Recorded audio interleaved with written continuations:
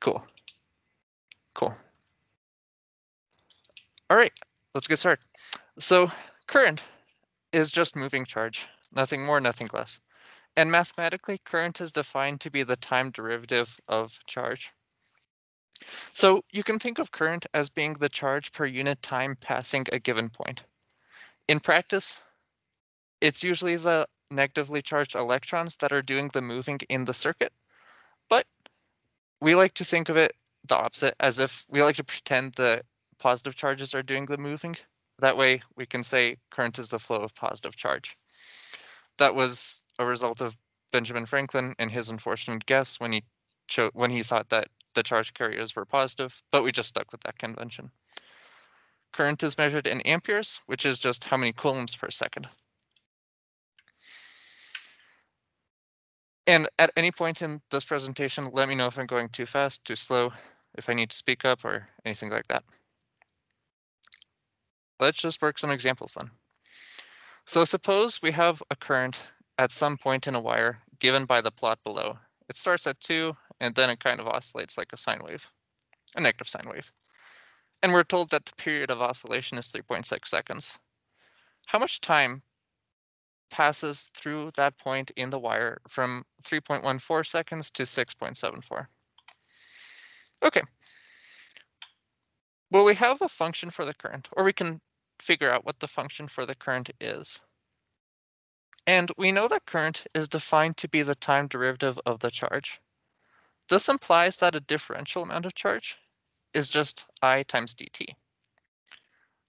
And as always, if we have some differential amount of something, in this case differential amount of charge, we can find the total charge by integrating. We just need to figure out what this I is. So we know that the given current assumes the form of a negative sine wave with amplitude.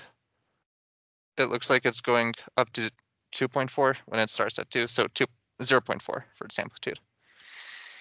And we know that we have the relationship, this equation is on the equation sheet, omega equals 2 pi f, where the frequency is just however many times the wave passes through a given point, which is 1 over the period t.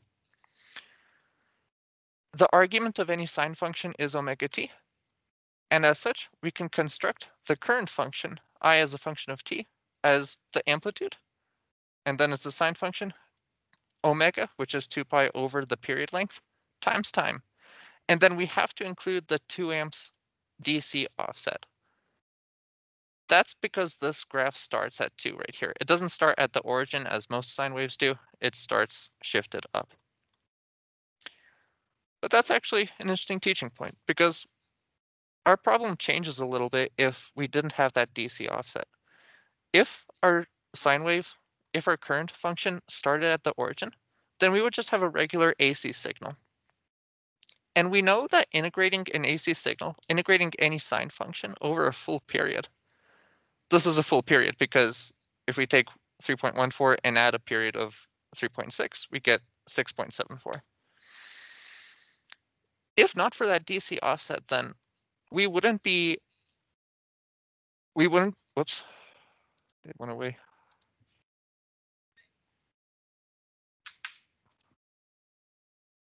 Hold on.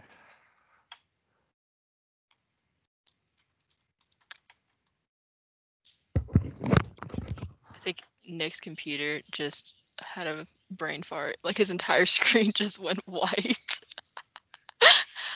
Uh, so hold on for a second. In the meantime, are there any questions about what was initially just said then, or uh, anything that we can use to fill the time? I have a question um, about the minus 0.4. What was that from?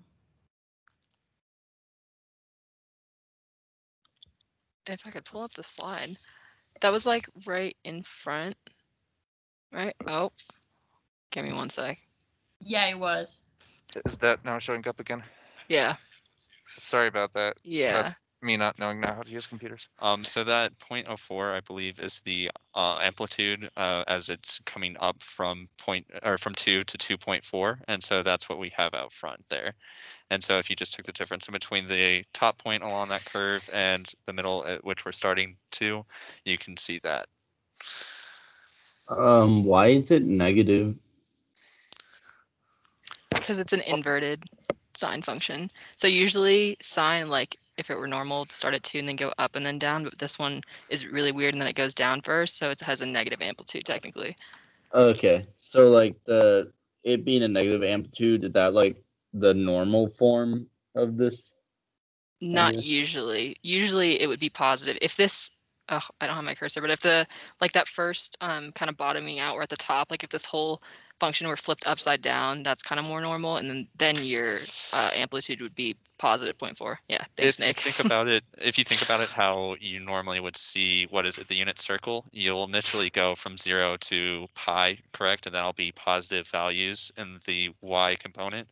And so Mhm. that's why you typically see it normally going upwards. But to account for the fact that we're not going in the general direction off of zero moving across the x-axis, that's why we're putting the negative out front. Okay. Cool, cool. Does anyone else have any other questions at this point? Oh, someone's asking if they have access to these slides. Do you want to post them or? I'm emailing Pat right now, or in a couple hours to ask if I can, because I don't know if I'm allowed to distribute this stuff, but it- I'd, I'd, I'd like to get them to you. Okay, so that's a solid maybe. At, at the least, we'll have the recording. Um, so that's always something that we can reference, right? All right, and someone else just asked what the rest of the expression means. This expression here, Where will the Uh, recording yes. be? Who Mhm. knows? Probably um, Tyler sent it out through an email last time. Um, so we might do that or um, I don't really know how else you would get it out. I, we'll probably end up emailing it to y'all, but if it comes like anywhere else, then we can just send out an announcement and um, tell you where it ends up.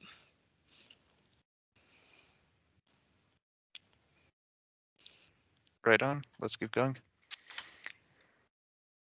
So, again, if we didn't have this two amps DC offset, then our sine wave would start at the origin and it would be just a regular D- AC signal with no DC offset. And we know that integrating any AC signal over a full period results in zero. That's why, technically speaking, there's no net current in uh, an AC signal, just because there's equal amounts of positive and negative if this signal was centered at the origin. But because it's not, we do end up getting some charge. And all that is, is this integral expression that we already derived. We knew we know that Q is the integral of dq, and dq from the definition of current is I dt. We have an expression for I, it's this negative sine function, 2 pi over the period for omega, and then plus 2. And we know that if we have integrals, we can split them up wherever we have addition. So we can just split the integral into integrating over that same time interval, integrating just the two amps, and then integrating the sine function by itself. But we just argued that any sine function integrated over a full period goes to zero because we have equal amounts of area above and below the x-axis. This is without the DC offset. All that's left then from the contribution is 2, this factor out in front, times the period length, which is 6.74 minus 3.14, the 3.6 period. That tells us that 7.2 coulombs of charge transverses that point in that time interval. Any questions about that problem? So some people have been asking whether this can be on the exam. The answer is yeah. Um, we don't write the exams, but the reason we're going over this is because it's a possible question on your exam, and it also uses a lot of concepts throughout this. So it's kind of a good problem to review to make sure you understand like all the different pieces. Cool. Let's move on to the next topic if there's no questions. Someone Okay. else just asked. Um, we're not planning on going over the most missed problems from exam one. We're gonna run through these slides and then however much time is left, we can answer questions like last time. And if y'all want us to go over that and time allows, we can, but that's not currently on the agenda.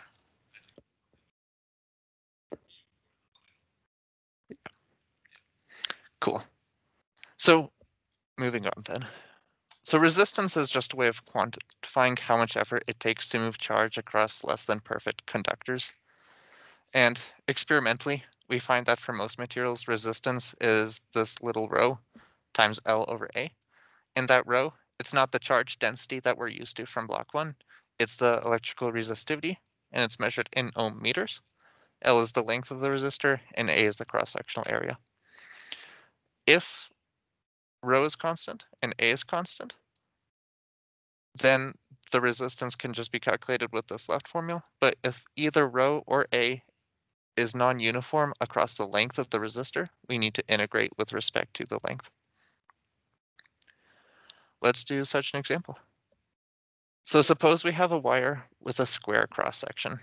And suppose that square cross section has a side length of 0.8 centimeters and is lying on the y-axis from y equals 0 to 0.5 meters. And the wire is made of such a material such that its resistivity is a function of y, 4 y squared ohm meters, for y measured in meters. What is the resistance of the wire? Okay, well, we know that resistivity is not constant. It depends on y. So we're going to have to use the differential form of the equation, which is on our equation sheet. And we know that the cross-sectional area is a square. So the area is just the side length. The, the cross-sectional area that the current sees is just the side length squared. So then the resistivity is given as a function of y, and the wire lies along the y-axis. So dl is equal to dy.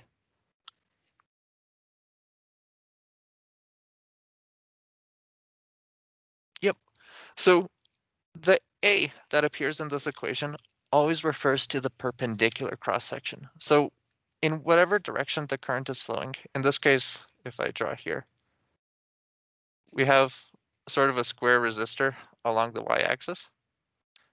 Maybe it has leads connected to the front and back.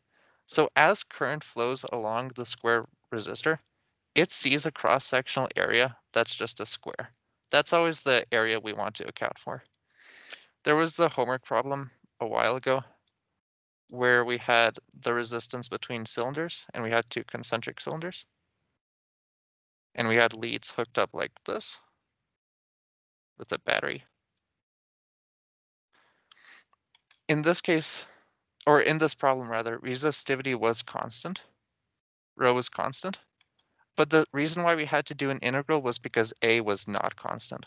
Because the wires were hooked up such that the current was flowing from the inner shell of the cylinder to the outer shell, sort of along these cylindrical shells, not across the front and back of the resistor. And as such, the area depended on where the current was.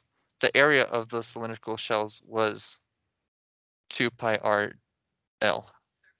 Yeah, surface area of a cylinder. That's why we had to integrate in that problem. So even though rho was constant, the area wasn't. Also, everyone should be really impressed by the fact that Nick just drew that with the mouse on his computer. Because I'm really impressed by that. But does that make sense to everyone? Because that's somewhere Like that's definitely going to be on the exam at some point in time. It's like the silence is a yeah. Right on. All right, let's put together the integral. We have r is the integral of dr. This concept comes up again and again in Phys2. If we want to find some total quantity, we just integrate the differential of that quantity. Here's our equation. We have rho d, dl, but in this case it's dy because the wire is along the y-axis over a. The resistivity was 4y squared. dy is, or dl rather, is just dy. And the cross-sectional area is just the side length. It was given in centimeters, 0.8 centimeters. So if I'm keeping everything in meters because the bounds are in meters and every and y is measured in meters here, then I have this factor of 10 to the negative 2.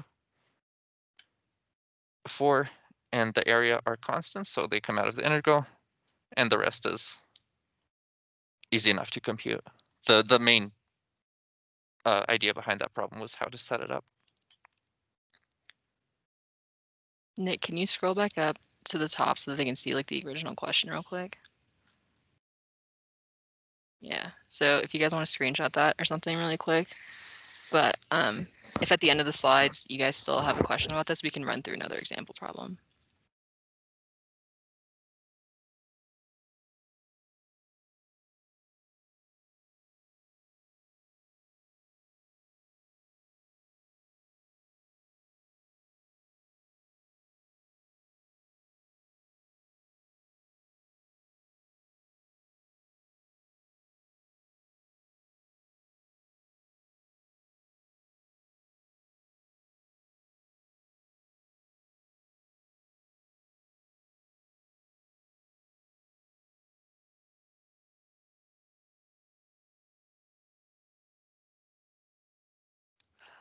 All right, so um, we're going to start moving into resistors and a few other portions of circuits.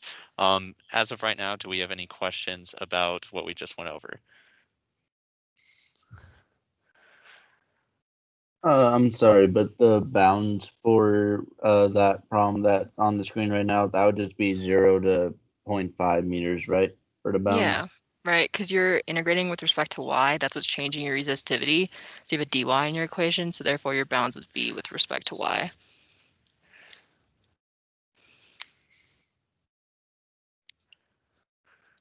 Yeah, and like Nick was saying, uh, the cross-sectional area that it's seeing is where we're using that 0.8 centimeters. And the length that, that that current is traveling is where we're getting those bounds from, or is really how we're applying those bounds. And that's why, like as he just said, we're looking at the length that travels along the y-axis so that we can plug that in and determine it with our differential that is, again, with respect to y.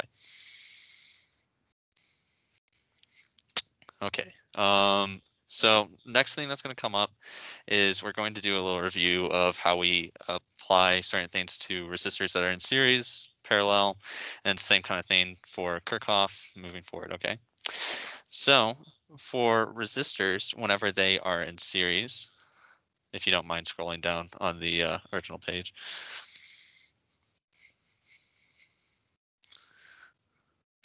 Um, so here, essentially the thing to remember is that whenever we do have series that are in, or sorry, excuse me, resistors that are in series, um, what's going to be the same for them is the amount of current that's flowing through them.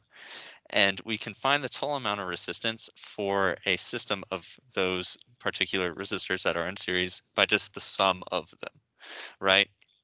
Whereas in opposition, if they were in parallel, uh, we could say then that the voltage drop would be the same. However, to find the total amount of resistance for a system that is in parallel, we have to do the reciprocal sum and solve for it that way. I know that this is something that uh, everyone should be familiar with by now, but do we have any questions about why this is or any kind of questions about why the voltage drop might be the same or why the current going through series might be the same? Uh, why is the voltage drop the same? So I'm gonna let Nick take this. He uh he's very eager to get back into it, so I'm gonna let him go for it. Nick, you're definitely muted. I can't hear you.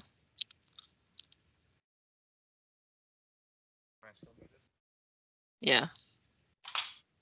All right, so I think Nick's gonna do some drawing here to help relay the idea of We're gonna- why voltage drop should be the same. We're gonna interpret the drawings. Someone says move your mic thing. I don't know what that means, but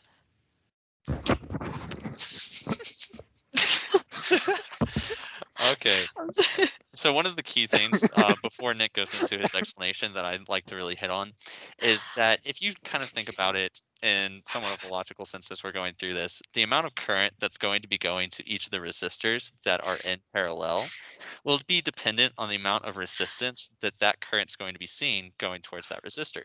So if we're thinking about this in the simplest setup possible, right? Let's say that we have current that's going and splitting into two different resistors if I were to have one that has twice the amount of resistance on one side as opposed to the other, so let's, for simplicity's sake, say two ohms versus one ohm, which one would you expect to have more current going through it? And about how much more would you expect?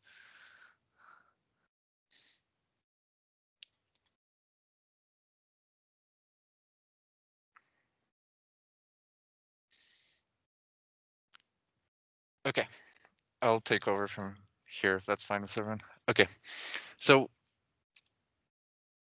picking up where Kate left off, Ohm's law asserts that voltage drop or voltage will drop only if there is a non-zero resistance.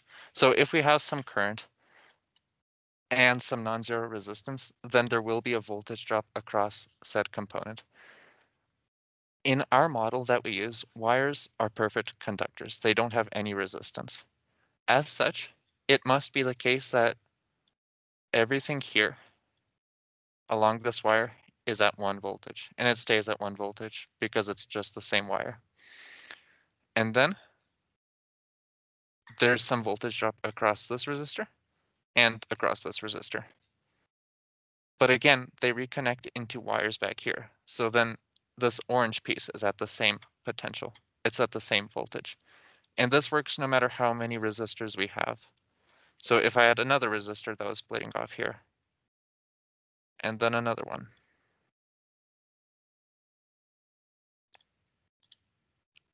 Just because these are still connected by wires, the voltage here is the same no matter what. And same thing here. It's a different voltage now, but the voltage at the bottom of those wires is the same. That being the case, the difference in voltage across any one of these resistors is just the difference in voltage between the yellow voltage, let's call it VA, and then the orange voltage, VB. That's the same no matter which resistor you go across. That's why it's the same in in uh, parallel. Also, this doesn't just apply to resistors, it also applies to capacitors. So it's like everything stuff in parallel has to have the same voltage drop, stuff in series has to have the same current, and that applies to just circuits in general. So if you're ever stuck on a problem, try and thinking back to like those two fundamental things and you can try and like piece your way out of it. And I think that that helps a lot.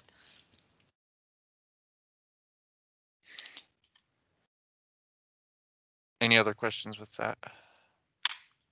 Uh, I just wanted to confirm. So you guys said if a resistance is in series, then it'll have the same current throughout all the resistors, and then if the resistors are in parallel, it'll have the same voltage. Correct.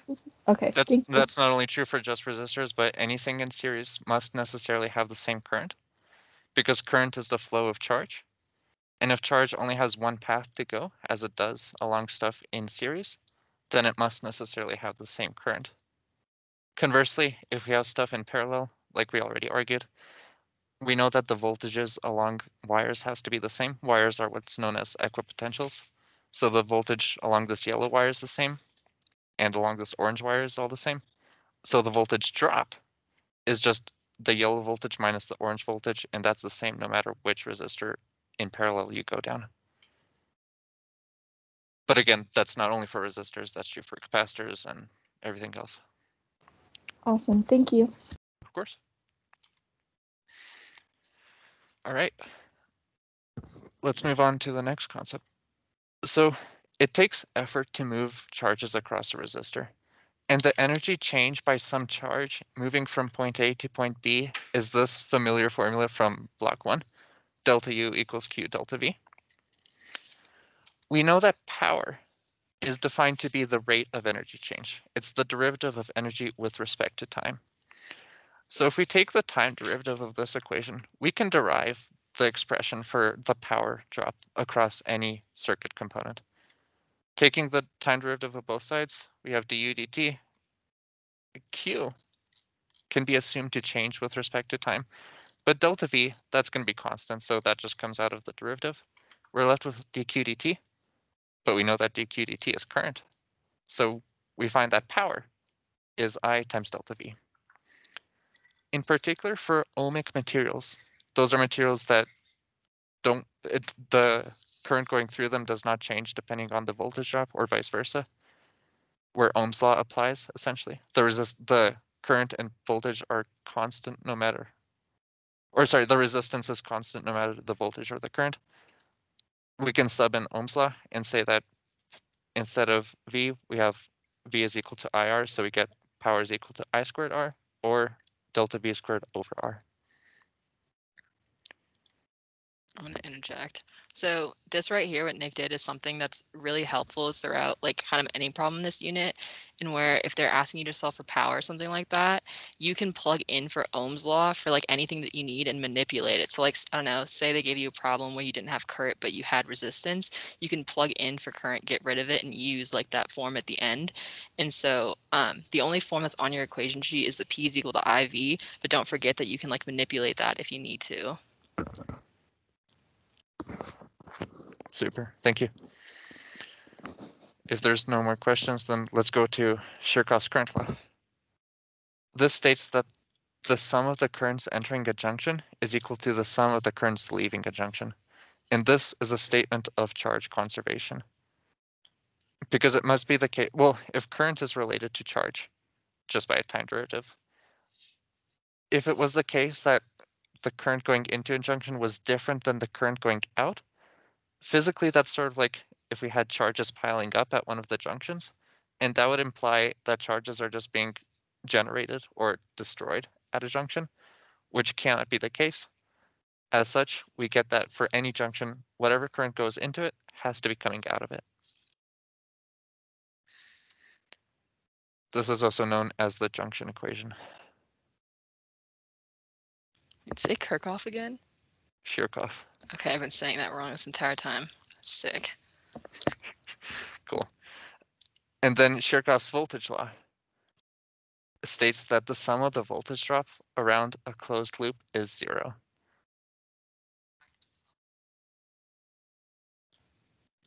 Uh, let's zoom out a bit so they can see a bit more. Josh, is this the slide you're talking about or the next one?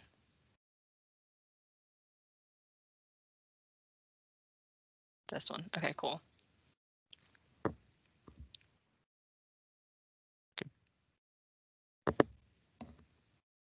I think Cool, cool, cool. Let's move on. To Shirkov's voltage law, which states that the sum of the voltage drops around a closed loop is zero. This, unlike Shirkov's current law, is a statement of charge conservation because we know that delta V is equal to, or rather, delta U is equal to Q delta V. So if voltage is the amount of energy per unit charge, then having the voltage drops be zero around a closed loop insinuates that there can't be any energy changed or the energy must be conserved no matter how we go across the loop. So for any closed loop, we can't have any difference in energy. If we start at one point with one energy and we make a full circle to that same point, the voltage drops have to be zero.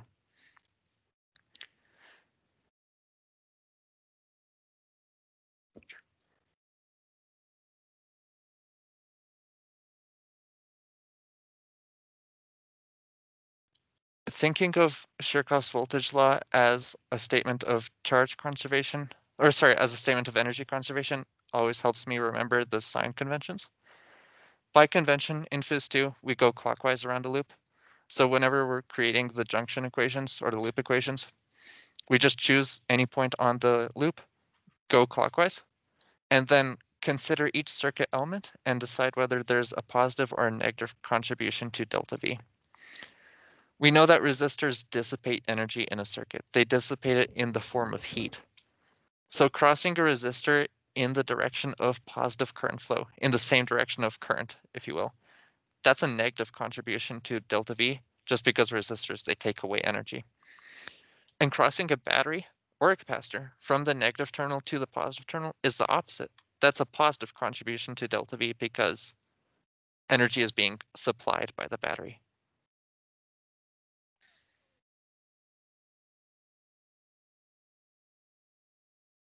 Mm, And now we have an equation that, or a worked example that Izzy wanted to take. Okay. So whenever it comes to Kirchhoff, stuff like that, it doesn't really matter exactly where you start as long as kind of where you start is where you end up. So for example, let's look at kind of like the uh, outer bigger loop on here. So let's say I'm starting at the bottom. If I'm going and like Nick said, go clockwise, um, if you decide to go counterclockwise, that's fine too. It's just that your final equation, you're going to get all of your signs to be flipped.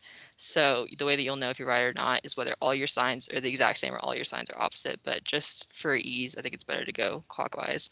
But if I'm going across this resistor with the current, the job of the resistor is to drop the voltage, right? So it's going to give you like a negative value. And then I'm moving around this outer loop, right? And your I1's coming down, but you're going up. And so because you're going against the current for that, you're going to get a positive V value, right? And then I probably should have mentioned also that because of like Ohm's law. Oh, yeah, give me one sec.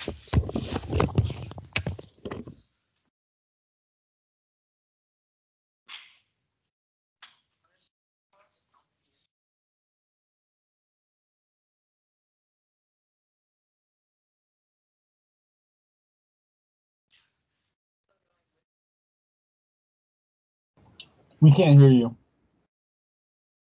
Sick, thank you. All right, all I was just talking about how bad my arrow was, but um, if I'm going with my current across this resistor, the job of the resistor is to drop your voltage, right? So you're gonna get a negative I3 R4 for this one. And then I'm coming up this side. Oh, that one's even worse. My gosh. I'm coming up this side of the loop, right? So my I1 is going the opposite direction that I'm going. Therefore, you're going against the resistor. So you'd have a positive. Oh gosh, this is actually really hard. a positive I1 R2. Stop laughing at me, Nick. Oh man. All right, moving on now. We're on this side of the loop. So once again, you're going against the current, therefore your voltage is going to be positive. I'm just going to put a sign here rather than trying to draw all the other stuff out. Okay, and then we're coming down here. So like Nick said, if you're going from the negative to a positive end of the battery, you're going to be gaining. But since we're going from positive to negative, that means you're going to be dropping voltage. And also just think about like numbers wise, you're getting more and more negative. So you're going to have a drop. And then your Kirchhoff equation for the big loop would be um, negative I3 R4 plus I1 R2 plus I1 R1 minus V2. So that's the um, determination if we go clockwise. And then if you happen to go counterclockwise, you'd have, you should have all the same like I1 R2 magnitude stuff, but then all your signs would be switched. So in this, there's um, two other loops. So there's like this inner one. Oh my goodness. Don't laugh at me. And then there's this one as well. So you do like the same type of convention, you just kind of go through those smaller ones. But um, does that make sense kind of of how we got like a Kirchhoff loop equation and all like the signs and stuff and everything? So those equations, where do you equal them to? Those like equal to zero or what? So they should, like Nick talked about before, up here, you have to have like conservation, right? And so they should all be equal to zero because you can't have voltage just kind of like disappearing. Cool. Does anyone else have any other questions? Is there stuff in the chat? Because I'm not looking at it right now. Cool. And then if we're Um, gonna, oh, go ahead. Uh, sorry, uh, just that uh, crossing negative to positive on a voltage source makes a positive Mhm. Okay. Yeah. So if you're going from positive to negative, you're negative. and if you're going from negative to positive, you're going positive. So, So, uh, with these questions too, uh, are you supposed to do the big outer loop or are you supposed to just do like the, like the two inner loops when you solve problems like this? so technically, um, the way that I've seen them on exams, at least, is they'll just ask you which one of these equations is a valid loop equation. So technically, that could be any of the three. It could be the outer loop or the top or the bottom. Um, they could. I mean, technically, I guess you could just ask for like the top loop exactly what that is, but usually um, they ask you like which one of these is valid. So you'd have to like form all the equations on your own. Okay. The only other thing that I'll say to that is that it kind of depends on how many unknowns you have, how many equations that you'll want to get out of it. So like in the problems that we had earlier in studio, uh, we didn't know a lot of what was it, the currents going through them. So we had to make a system of equations wherever we had um, the same amount of equations as unknowns, correct? So as we moved forward, that's how we were able to solve. But if it were something wherever maybe we were only trying to get one current, then we wouldn't necessarily have to define each of the loop rules necessarily. Does that make sense? Yeah, that makes sense. Okay, cool, cool. Cool. All right. Does anyone have any other questions? Uh, there's a bunch in the chat. Yeah, there was a question about um, solving a system of equations. Um, so I think we can come back to that um, at the end of the presentation. The thing that I'll say is that typically we don't ask y'all to solve the system of equations on the test. It's more so just setting them up, but we can definitely go over an example if you'd like at the end. On that same note, usually people don't get their own calculators for uh, this test, but this semester is crazy. So you do get your own calculators. I would invest some time in learning how to solve systems on your calculators just in case. Because if they do end up asking you to solve for currents, most calculators, especially Texas Instruments, um, they have really nice ways of solving systems. And that will save you a lot of time if you just have the equations and you can go straight to the answers. Yeah. And like um, Kate said, it's typically um, on exams, it's kind of more so like which one of these is a valid loop equation. But Nick's definitely right. Um, if you're worried about it, then maybe spend some time looking into it. I would say the chances of it being on there, like them asking you to solve like this huge algebraic equation, isn't great just because we're trying to test your physics knowledge, not your algebra. But um, that being said, we don't make the exams, Pat does. So there's a chance it could actually be on there. And then just a few other things that are still in the chat. There was a question that pertained to why I3 is flowing in the direction that it is. Um, and really the conventions that we have right here are just going to be our initial guesses for where the currents are, right? And so we might get a negative value or positive value for each of these currents. And really what it's telling us is if we get a negative value for that current, that the direction we've indicated on this system here is the opposite of what it is in reality, right? And that's something that we went through in studio, wherever you guys made initial guesses on that system as well. And you were able to see that for some of them you got negatives, some of them you were able to extract positive values out of it. Cool. Yeah, that's a really good point. Um, if that doesn't make sense, say something, we can try and run through a different way. But um, are there any more questions in the chat?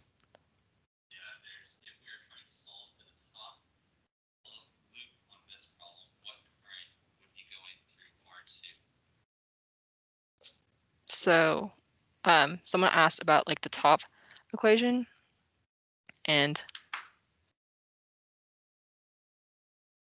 yeah, sorry, I keep interjecting. Um, so one of the ways to kind of identify which of the currents you would want to use is that we can look at our junction um, kind of in between R2 and R3. Thank you, Izzy, for writing on that.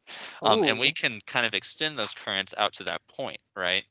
And therefore we can kind of see for each of these which current we will be using because in this system and how we've set it up, we will say that current I1 will be going through not only resistor 1, but also resistor 2 down to that junction. Cool. I can also, what I was going to touch on next kind of hits that as well, but talk about the junction rule really fast. And so all that is, like Nick says, let me scroll up really quick, is that every the current coming in has to equal the current coming out. So if we look, the easiest thing to do for a junction rule is just on your circuit, draw little like nodes. So like I have drawn poorly right here. Um, but you have I1 coming into it. There we go. Ooh, that one's better. All right, I'm not even gonna do I2 because it's right there, but you have I3 here as well. Oh, lost it last minute. Um, so you have I1, I2, and I3 all coming into this and coming out. Therefore, your a valid uh, junction equation would be like I1 plus I2 plus I3 equals zero. If for some reason, I don't know, let's say your um, your I3 were going this way, and it was like indicated on your thing, then your loop equation would be I1 plus I2 equals I3, because that's what's coming out. So does that make sense to everyone?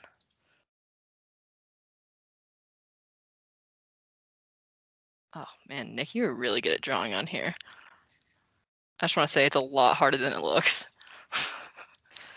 So just to reiter- reiter- mm, reiterate with the signs, if you go across a battery from its negative terminal to its positive terminal, that's a positive contribution to delta V because it adds energy to the circuit.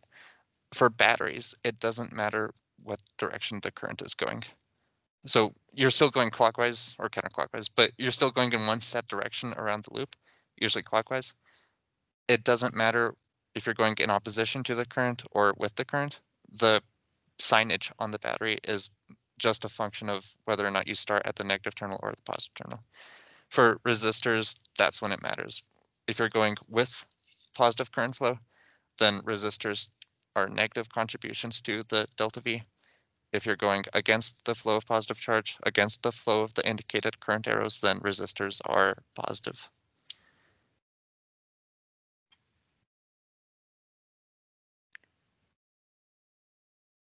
My master pace. With resistor equals negative. Just because, like, once again, the way that I always think of it is the job of the resistor is to drop your voltage, right? That's what it has to do. So if you're moving with your current along, uh, or you're moving with the current along a resistor, then you're going to go negative. But I think that's the end of my Kirchhoff spiel. All right, you want to switch back? I hate drawing.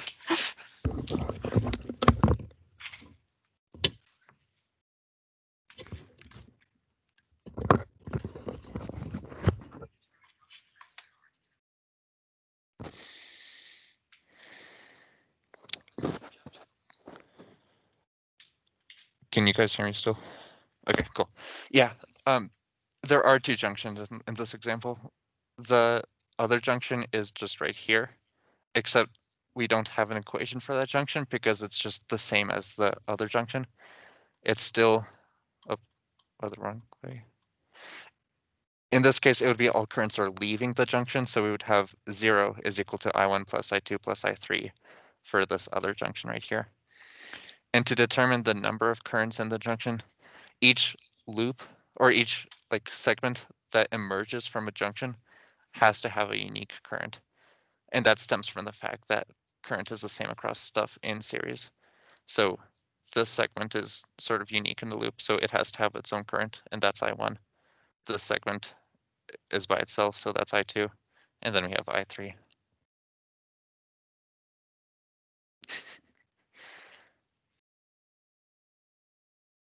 Well, now you're taking away my, my hard work. That was my best arrow.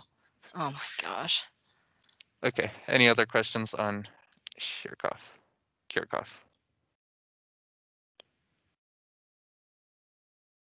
All right, I don't see any more in the chat, so I think we're Okay. good. Yeah, like always, I'll try to go slower and then I'm more than happy to go back to anything if there's questions at the end.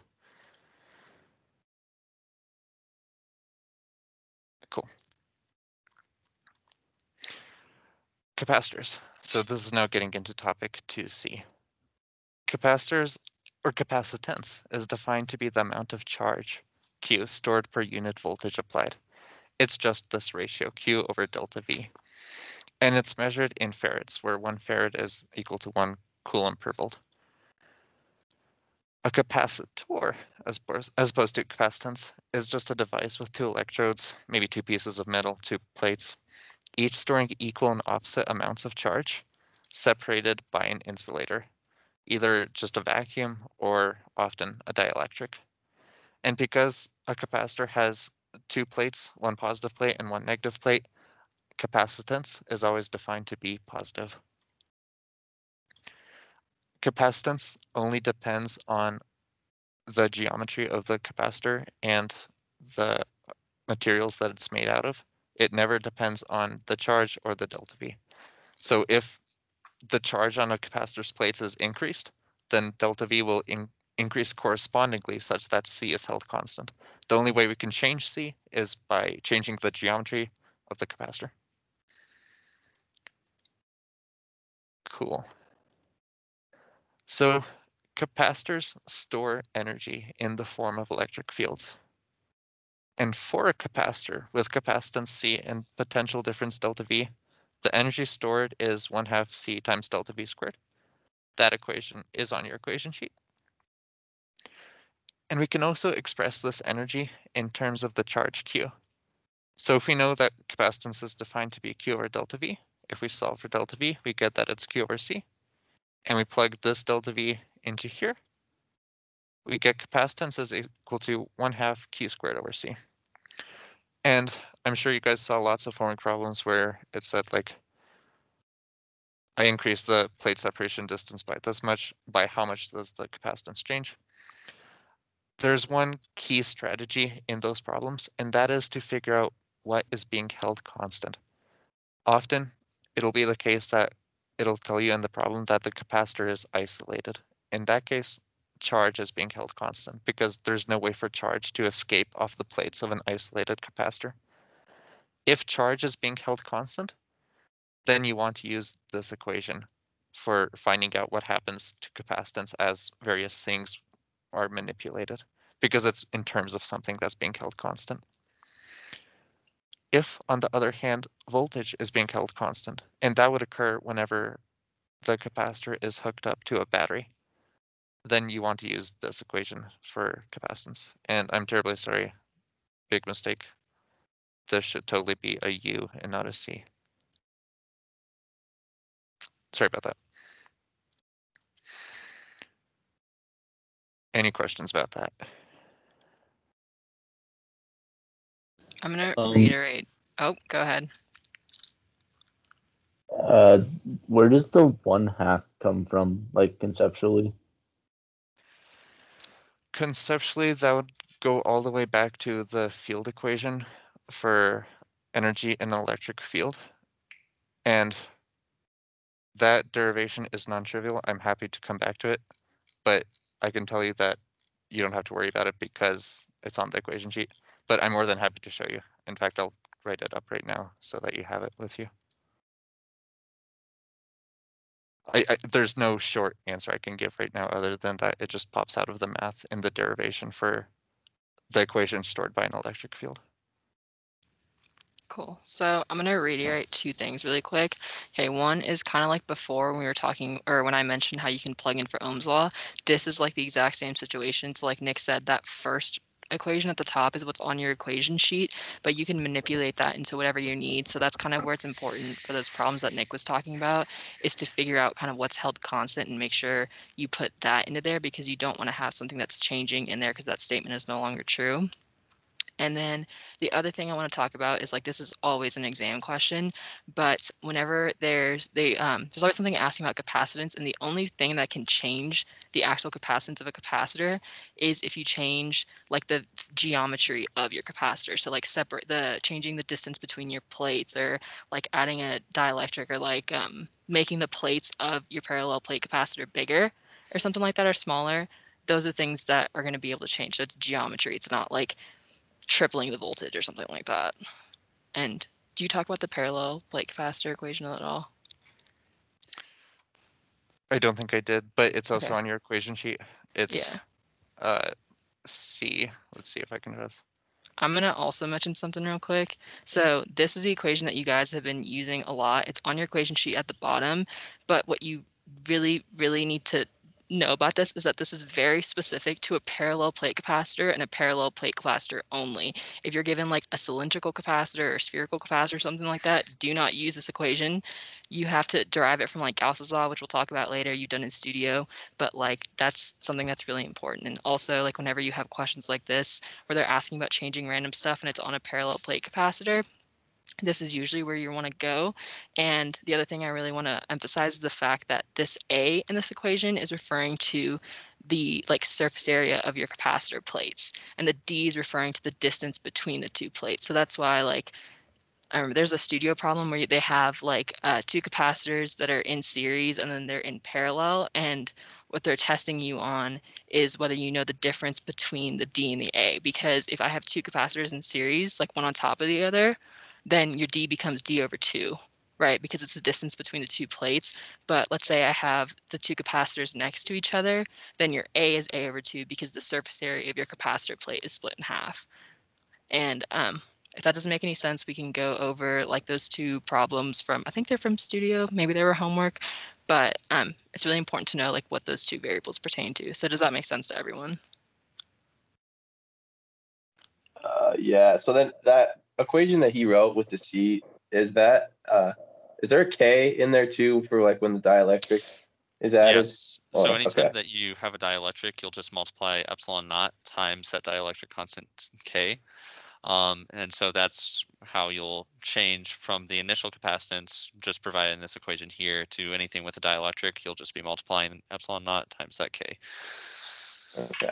But the way that it's written is the way that's on your equation sheet. So just keep that in mind that like whenever you have a dielectric, um, you can put whatever you want. I think it's always easier to just like Kate said, tack it on next to the epsilon naught. But it's just implied that for a regular capacitor, your K is one, which is why it's not on there. Okay, um, at this point, there's a few things that are in the chat that I think we should address. Um, so for the top versus bottom equations, which should we use whenever voltage is constant? Um, for the top one, I would say that's whenever we have voltage being constant, but if we were to change something about a capacitor, let's say we change how far they are in their separation or any other kind of parameter about that, then I would say that is a time that we can move down to the secondary equation where we have it in terms of Q over capacitance, or Q squared over capacitance. Um, a few other things. Um, I'm not necessarily sure what this is referring to whenever it says I didn't quite catch that. Um, can we get something in the chat that hopefully can detail that a little bit more. And then, so A divided by two for parallel. Um, I believe that's referring to a question earlier on in studios wherever it was two side by side. And so if they provide you the area of two capacitors side by side, the reason that it was area divided by two is because the total amount of area was provided to you, but it has two different dielectrics being split down the middle. Um, the Yeah, so parallel in series. Okay, yeah. So it Mhm. might be good to uh get a drawing of that as Yeah. well, um, so that we can kind of discuss that a little bit more. Just to reiterate on the first question that Kate answered, we use this equation when voltage is being held constant. And voltage is held constant whenever we say, for instance, we have a battery here and it's hooked up to the capacitor. Well, these two things are in or in parallel. And we know that stuff in parallel has the same voltage, so voltage is held constant in that case. If we had an isolated capacitor, like if we had a capacitor that we disconnected from the battery and it was just floating out in space, then charge is being held constant because there's no way for the charge on the plates of this capacitor to jump off. Cool. And then um Paris, what you're asking about, so I can go back through it really quick, but just conceptually, that A, because it's the area of the actual plates of the capacitor, if these were in parallel, so Nick, you want to draw a line between those two real quick? Oh, I move, okay.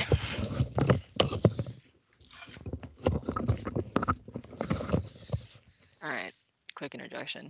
Okay, so if I were um to put I don't know, let's say this is like K1 and K2. So the whole point with these is that, like I said before, it's kind of like it really important to understand like where your variables mean that we don't have to memorize anything and you can kind of just like logically think through it. This A right here is the area of the plates of your capacitors, like the surface area. Therefore, if I have these connected in parallel like they are here, really this is divided in half as well, right? So it's all going to go through this side or this side. But if I have, give me a sec to erase all this stuff that I just drew. But if I have two capacitors in series, oh, that probably should be a lot straighter. And so this is like one and this is two. This D in the bottom of this equation stands for the distance between the plates. So if I have a capacitor, another one like right here in the middle, or you have two different dielectrics, your A stays the same, right? You still have the entire surface area of your um, capacitor plate, but now the distance that is traveling is half. It's not from this one to this one, it's only going through half of it. So this D is over two. Does that make sense to everyone? So, uh, what exactly were you doing when you when you said like the A? Uh, something about the A changes when you put them in parallel. Were you connecting a wire between the two uh, plates? Um, it's more of like my really bad artist rendition, but it's just like if you had you have like your one capacitor, but you have two different dielectrics like right next to each other, and then you can treat it as if they're in parallel. Does that answer your question? So this is all about about how dielectrics would change the equation. Yeah. Okay. So, you, what's the difference between a a dielectric in parallel versus a dielectric in series? It's the way that uh, it affects the capacitance. And also, like, if they were asking you, I don't know, like an energy equation, kind of like what Nick was talking about before, it's like, okay, I double the plate area and I have, or like I triple the distance between them. How is like the area affected? So this is something where you can use um, like C is equal to A epsilon naught over D because it's a parallel plate capacitor, and you're not going to have any dielectrics in that situation. But it's just like understanding what those variables are helps you manipulate that equation. And I just happen to like use dielectrics for this example, but um, it doesn't necessarily have to be like that. It's kind of just understanding what each one means. Does that make sense? Oh man, I gotta be honest, it doesn't quite, but you can move on for now. No, we're good. If you want, we can. Um, there's like this is I'm referring to like a specific problem we did in studio, so I can like run back through it after. But um, Yeah, we that'd can be always pretty come nice. back to it. Okay, cool.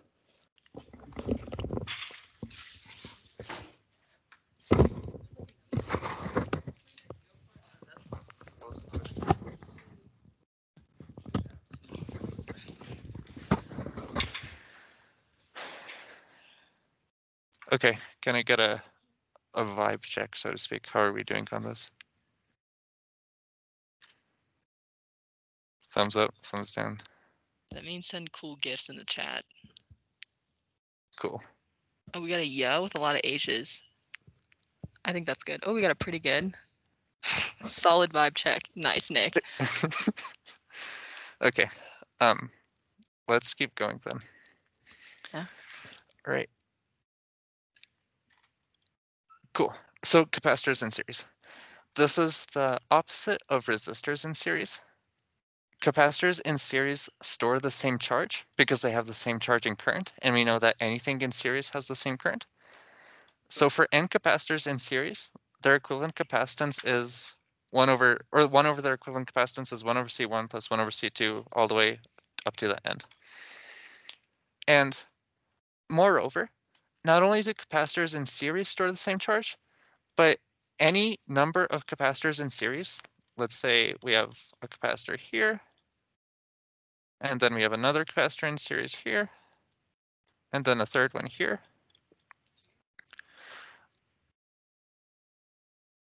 And then let me get a red thing right here. So let's say that capacitor has a positive charge. And same here and same here.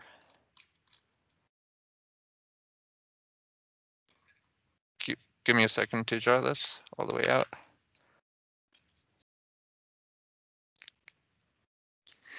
Okay, not only do we know that all these capacitors by themselves store the same charge, so the charge on C1 is the same as the charge on C2, which is the same as the charge on C3, but the whole entire system of capacitors stores the same charge as any one of them.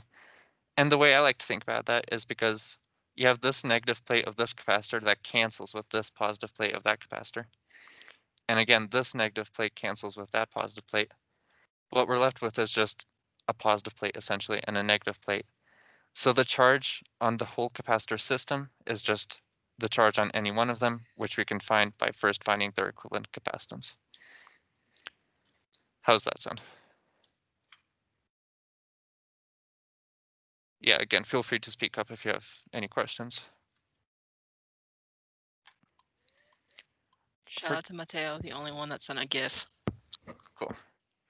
For capacitors in parallel, they are subject to the same voltage drop. So again, sort of harking back to how we said anything in parallel has the same voltage drop. If we have any number of capacitors in parallel, the voltage drop across those capacitors has to be the same. And their equivalent capacitance is easy enough to calculate. It's just C1 plus C2 plus however many capacitors there are. Cool. Dielectrics. If we're ready to move on, if there's no other questions. Cool, nothing in, nothing in Uh, chat. uh, Okay, I have a I have a question. go ahead, go ahead. Um, so for uh, capacitors in series, Yeah. um, the way they showed it to us was that it was going to be one over C1 plus one over C2, et cetera, et cetera, et cetera. All of that quantity times to the, to the negative one. Mhm. Is that still the case, or is it just going to be one over C1 plus one over C2 plus one over C3? No, absolutely, you're absolutely right. Because if we take both sides of this equation and raise it to the negative first power, one over C1, or sorry, one over C equivalent to the negative first power is just undoing the reciprocation. So we have C equivalent is equal to then what you said, one over C1 plus one over C2, all the way on, and then all that quantity to the negative first power. All right, great. Thank you so much. Yeah. Great questions. Okay. Okay, for dielectrics. Sometimes the space between a capacitor's electrodes is filled with some insulating material, other as opposed to just having a vacuum there. And such materials are called dielectrics, and their purpose is to increase the capacitance of the capacitor. Dielectrics, they have a dielectric constant, which we usually call kappa, as Pat likes to say, that's usually a misnomer because it's rarely all that constant, but sometimes it is. And now let's go into the mechanics of how dielectrics increase capacitance. So if we have a capacitor and it has a negative plate with some negative charge right here, and then it has a positive plate with some positive charge on the bottom, there's going to be an electric field established by that capacitor And we know that electric fields point from positive charges up to the negative charges. So that black electric field, that represents the electric field of the capacitor. Then if I stick some dielectric molecules in there, that electric field is going to cause those molecules to get lined up. In fact, we're going to have the positive ends of those polar molecules facing the negative side of the capacitor plate, and we're going to have the negative ends of the polar molecules to attracted to the bottom positive plate of the capacitor. What that does for us, again, electric fields point from positive charges to negative charges. If we have a net concentration of positive charges from the dielectric here and a net concentration of negative charges here, what happens is that the dielectric sets up its own electric field that acts in opposition to the electric field of the capacitor, thereby weakening the electric field in the capacitor. Okay, well, what are the consequences of that? If the dielectric sets up its own electric field that weakens the electric field in the capacitor, well, we know that the voltage difference in a capacitor is found, or voltage difference in general is found by integrating the E field. And in general, for capacitors, we can assume that the electric field is constant. So this electric field comes out of the integral, and we're left with dl from the bottom plate to the top plate, which just amounts to the electric field times the plate separation distance for that integral. So if the electric field is getting weaker and the plate separation distance is staying the same, then the voltage difference is getting correspondingly weaker as well. But let's remember the definition of capacitance. Delta V is getting smaller. Q didn't change because I never actually took any charge off the plates of the capacitor. So if the denominator is getting smaller and the numerator is staying the same, then C has to increase with the addition of a dielectric.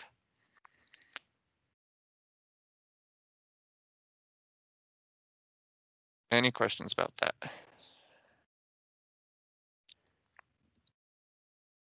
Um, I got kind of lost in the uh, electric field thing. Is that Mhm. electric field equation for the dielectric electric field or for the capacitor? Uh, what I did right here, Yeah. this is just whatever electric field is in between those uh, those plates. So I'm trying to find the voltage difference between the the red plate, the positive plate, and the blue negative plate, which means I integrate whatever electric field exists inside that uh, equation. And that electric field, without a dielectric, it would just be this black electric field of the capacitor. But since I included a dielectric that creates its this green electric field that acts in opposition to my capacitor electric field, this E gets smaller, Thank you. Of course. There's no way I'm that good of a teacher that no one has any questions. Please don't hesitate to speak up if something does make sense.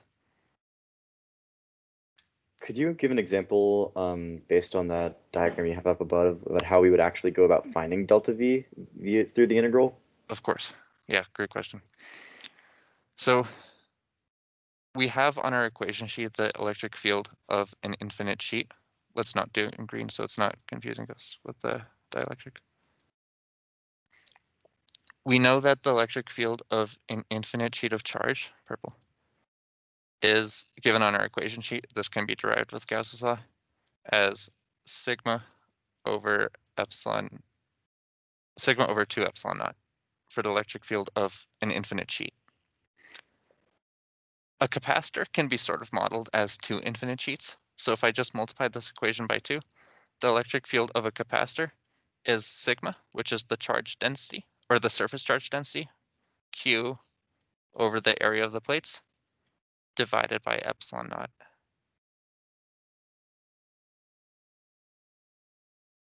Cool. So that's the E field of the capacitor. And if I want to integrate to find the voltage of the capacitor, I would just integrate this expression. So then the delta V for a parallel plate capacitor would be the integral of, we said Q over epsilon naught A. And then I'm integrating across the length of the capacitor. So let's say from zero to the plate separation distance d. That gives me q times d over epsilon naught a. Would our epsilon not be multiplied by um, some constant k? Absolutely. If, yeah, I did this for just the electric field of the capacitor by itself, but if we had the dielectric constant in there, it's no longer the case that our electric field is this. We now, we would now have the cap in there. Okay, thank you. Yeah, yeah, yeah.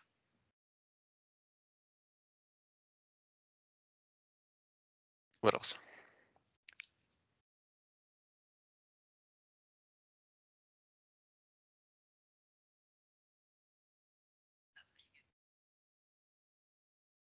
Sure, okay. While I'm at this, let's derive the equation for a parallel plate capacitor. So, uh, yeah, so we know that capacitance is given by Q over delta V. And we just calculated what delta V has to be for a parallel plate capacitor. It's this. So if I substitute that into this equation, the Q's will cancel. Epsilon naught A will jump to the top. D goes to the bottom, and I recover the equation that's on our equation sheet for a parallel plate capacitor.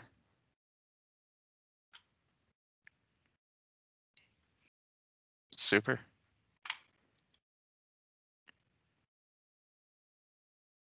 All right. Now let's go to Gauss's law and dielectrics. So with dielectrics, we make one substitution in Gauss's law, and that is instead of epsilon naught in the denominator of the right-hand side, we replace it with epsilon. And epsilon is just whatever the dielectric constant kappa is times epsilon naught. So Gauss's law becomes this. Cool. Let's do an example of that. Also, this is kind of the method you want to go through if you have a problem where you don't have a parallel plate capacitor. So if they give you some sort of like cylindrical or spherical capacitor, this is where you want to go because like I said before, that equation that's on your equation sheet that Nick just derived is only for parallel plate capacitors. Right on. Okay. So suppose we have a spherical shell of radius A. Let's do it in teal. A spherical shell of radius A. That's its radius. And then it's nested within a larger shell of radius B, and it's going to be brown. Sorry about the bad pictures. But there's the radius B. And the space between them is filled with a dielectric with dielectric constant kappa. So let's make a gray dielectric constant or a gray dielectric. Cool. And I want to find the capacitance of this arrangement.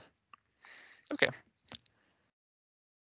We can start by assuming a charge of plus Q on the inner electrode. So we have plus Q here. And then we have minus Q on the, the equal and opposite minus Q on the outer electrode. And that's our jumping off point. The reason why we're allowed to do that is because, again, we're deriving the expression for capacitance. And as we argued a while ago, up here, capacitance does not depend on the amount of charge on its plates. It depends only on the material geometry, which is what we're about to investigate. But the amount of charge is arbitrary, so we can just assume some charge plus Q on the inner electrode and run with that. Cool. So Gauss's law with a dielectric reads the closed surface integral of E dot dA is equal to Q enclosed over epsilon. And we want the electric field in between the electrodes, so in this gray region. The reason why we want the electric field there and not anywhere else is because that's the region where we want to find the potential difference. We want delta V between the inner and outer electrodes. And in order to find delta V, we need to have an electric field that we can integrate. As such, let's stick a Gaussian surface of radius r such that r is between a and b. This Gaussian surface encloses a charge of plus q because if my Gaussian surface is this green thing here, it's enclosing that inner capacitor of radius A and charge Q. So the right-hand side of Gauss's law is already taken care of. Because we know the charge in Q is just the positive charge Q that was on the the inner electrode. And we know the surface area of that Gaussian sphere is 4 pi r squared. On the bottom, we have kappa times epsilon naught. So we get an expression for our electric field by dividing over. All the same, all the pertinent symmetry arguments hold that allow us to move the electric field out of the integral. Cool. We can integrate this electric field to find the magnitude of the potential difference delta V between the electrodes. So delta V, usually there's a negative sign here, but again, I'm ignoring it just because we're looking for the magnitude of the electric field. Oh, sorry, of the potential difference. We have the electric field. Here it is. And we're integrating across a length. But since the Gaussian surface is in here, and I'm trying to find the potential difference going from the center electrode out to this outer electrode, that's moving in the radial direction. So I can say that my dl is equal to just dr. q, 4 pi, kappa, epsilon naught, those are all constants, so I take them out of the integral. I'm left with the integral from a to b of 1 over r squared, which we can integrate to get that. Any questions so far? Could you just pause there just for a second while I write it down? Sure. And So- again, I'm, I'm, Oh. yeah, give me one second. I'm really hopeful that Pat will say I can email these out, so I'm hoping these will be able, we'll get these to you. Yeah, sorry, go ahead. Uh, so I was just gonna ask, so like, when you take the uh, integral of the E field, and it's always the negative inner field E field, how come uh, before like these topics, were, were we were we doing the magnitude of the change in voltage? Because I don't remember the negative but always canceling out like every single time we did that. So in general, the negative sign is important. The negative sign, um, it sort of gives the relationship between voltages and electric fields. And the reason why it's there in the first place has to do with the fact that electric fields point away from positive charges. Sort of by definition, I can show you that if you're curious. But the reason why we ignore it here is because we know capacitance is always defined to be positive anyway. So even if we carry that negative sign out and keep it through the problem, it's not going to matter matter in the end because capacitance we know has to be positive no matter what. Okay, that makes sense.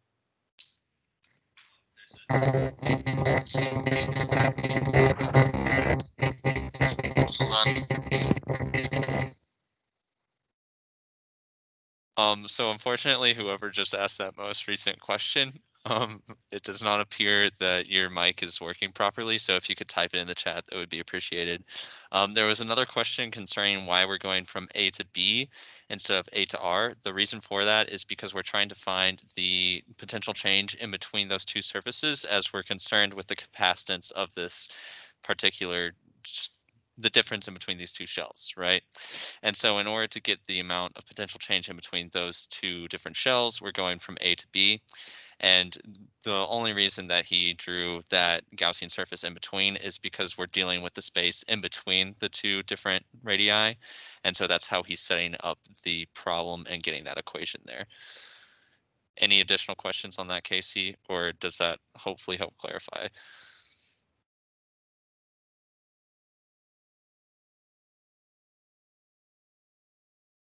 Okay, if that helps. Um, and then I don't know who was the most recent question, but uh, hopefully we can get that in chat soon.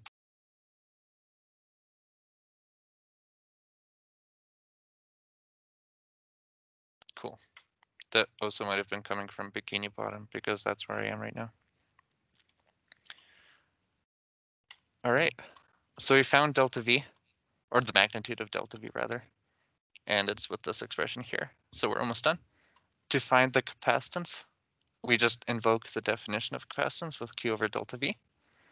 Again, the same Q that appears on the numerator of this expression here is the same Q over here that we carried through in our delta V expression, is the Q that we assumed the inner electrode has, which is really reassuring because if we assumed it, then it should be the case that it cancels out, and indeed it does.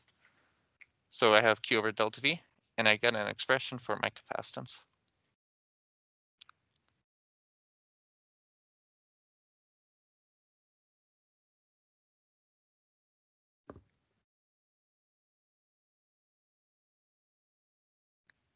Anything, any, uh, any questions to wrap that up?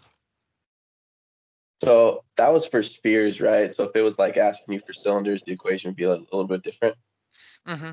Yeah, Okay. for cylinders, which was the other, the, the reason why I did a sphere problem here is because this is something we haven't seen yet in studio, but I think if you go to topic two C, yeah, you did a problem similar with spheres. The main difference is that, or I guess starting from here, we still ass- assume a charge of plus Q on the inner electrode, but in this case, the inner electrode is just a cylinder. But the area of the Gaussian surface is now two pi RL. So when you integrate the electric field, by virtue of having an R in the bottom, you're going to have a natural log in your voltage. That uh, dA for Gauss's law also is like surface area. So if, whether they throw like some random shapes at you or something like that, if you don't want to memorize them, you can just know that like that's the surface area. So that's the surface area for a sphere, and then what Nick just talked about is the surface area for a cylinder.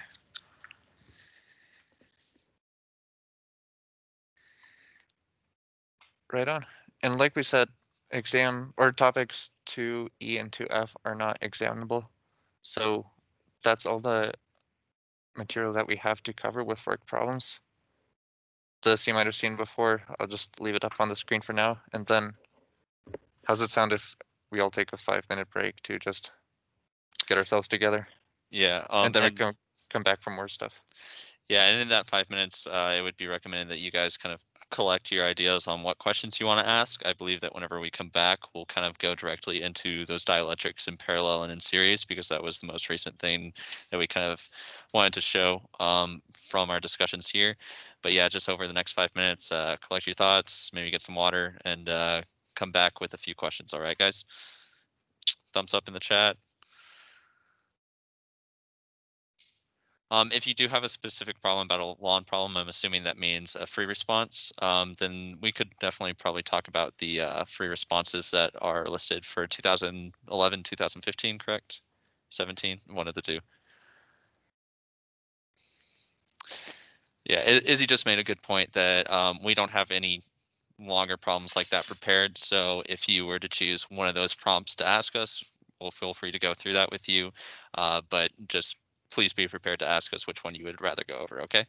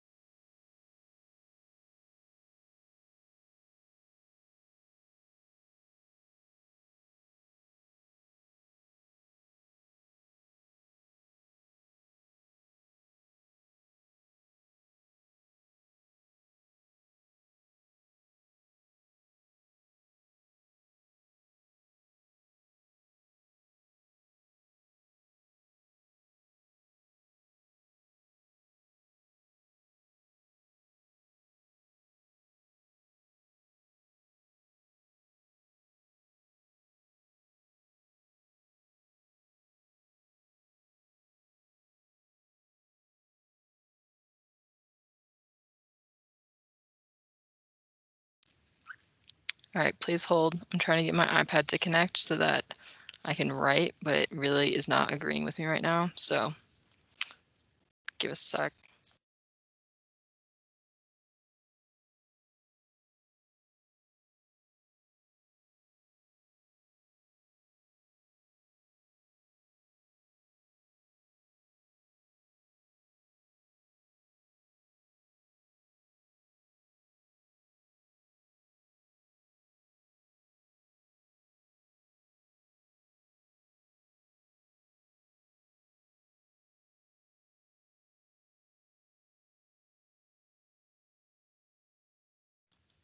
All right, so I've transitioned to a new uh, device, so I'm going to draw this rather than like have it from Long Kappa. But if you want to follow along, I'm just doing like um, topic 2D. It's like the studio activities and it's the dielectrics top and bottom. So all the, or I'm sorry, I'm starting with the dielectric side by side, but essentially all it is, it's like this.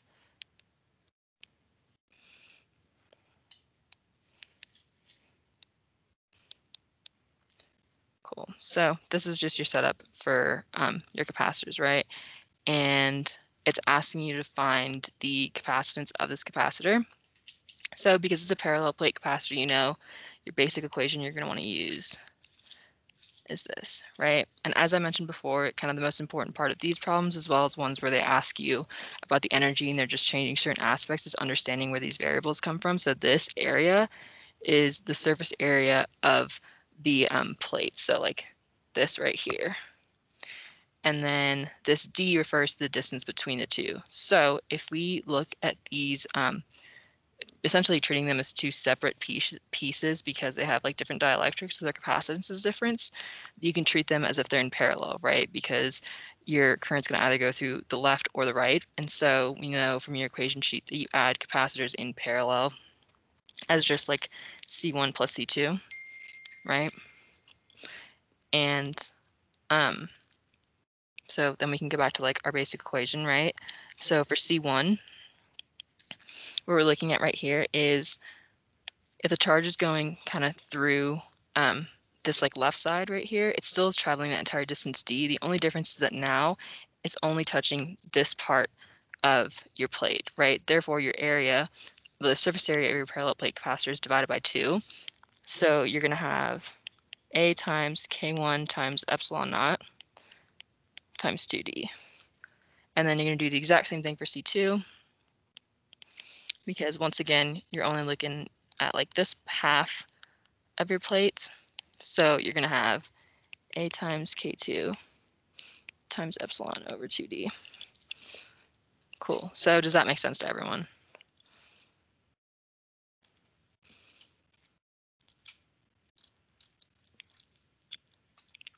I'm going to take that as a yeah. Okay, cool. All right, so the other situation that can happen though is like how these are treated in parallel. Um, I think it's the problem before this one on 2D as well, but you can just have essentially, you have like this capacitor and it tells you like this entire material is one thing and this material is something else. So you have like two different dielectrics. So in this case, once again, if they're asking you to solve for like total capacitance or something like that, you have to go back to your parallel plate capacitor equation. All right, and these capacitors can be treated as if they're in series, right? Because if something goes through K1, it has to go through K2. It's not like an either or option.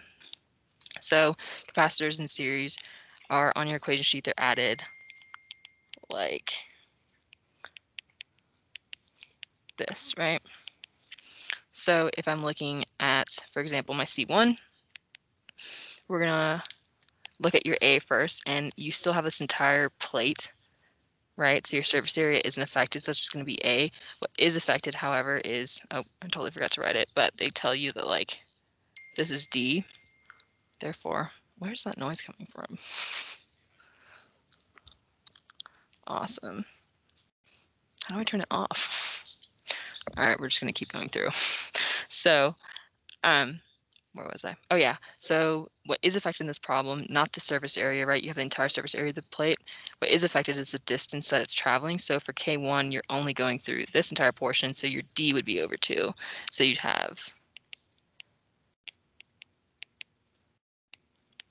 right? Because your distance is divided by two and your C2 would be the exact same thing.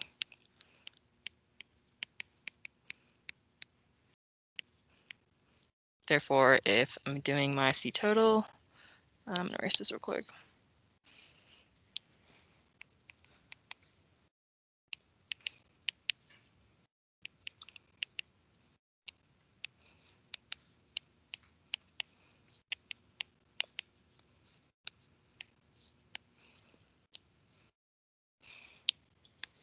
Ah.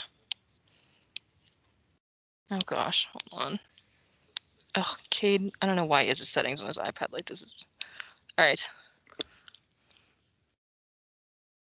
So, does that make sense to everyone? Also, too, I think it was like Paris that asked that question.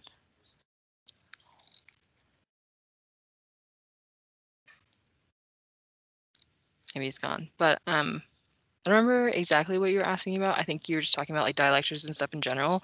And um, even if you didn't had these dielectrics, I don't know, let's just say they were just like separate capacitors or something like that, you would still kind of treat it the same way. Um, it's the same overall concepts of just understanding that uh, what the A and the D pertain to, but um, like process wise, you kind of go through the problem the same way. So does that clarify? Does anyone else have like any other questions for like these types of problems?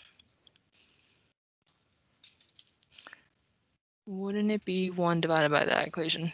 Yeah, so I have like um this little exponent right here. You can put like the whole thing inverted. I just always put that in my calculator to make it easier. So yeah, it's technically one over all that stuff that I've written.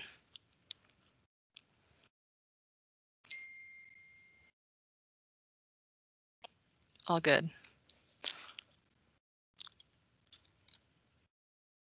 All right, if no one has any other questions, I think, um, do you guys want to run through like a free response or are you gonna ask for like specific questions? Okay, someone wants to do the, oh, whoa, okay. Someone wants to do the uh, free response from 2017.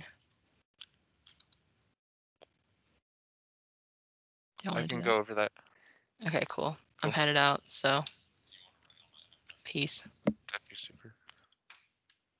Give me a second to pull it up.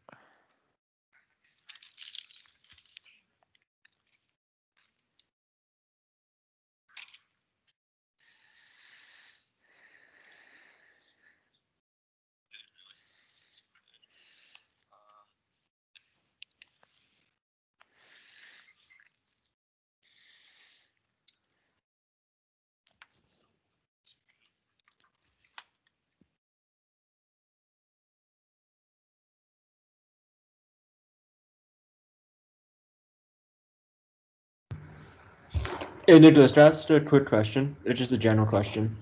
Go for it. Um, so you, I wasn't here at the very beginnings, but I heard that like one E, uh, two E, and two F are not going to be on the exam. Correct. So like we don't have to study those materials at all.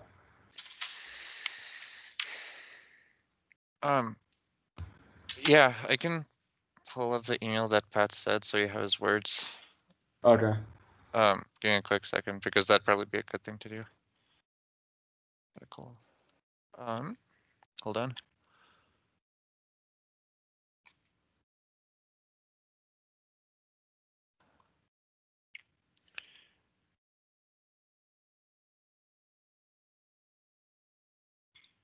Let me. Yeah, can you see my screen right now? This is the email he sent to everyone in the course. And he said that the major problem we have to overcome is that we don't have enough turnaround time to cover to cover topics 2E and 2F by then. And the homeworks for those topics are due the day of the test, the thir- Mm. 13th. So exam two will have 16 multiple choice problems and a free response. 12 of those parts will be topics 2A through 2D, and the others will be copies from exam one. Oh, okay, sweet. Thank yeah, you. Yeah, yeah, yeah, of course. Okay, cool. And then we're going over the 2017 exam, right? The free response. Cool, cool, cool. Let's do that. All right, consider the circuit to the right, which has resistors, capacitors, a battery, and a switch.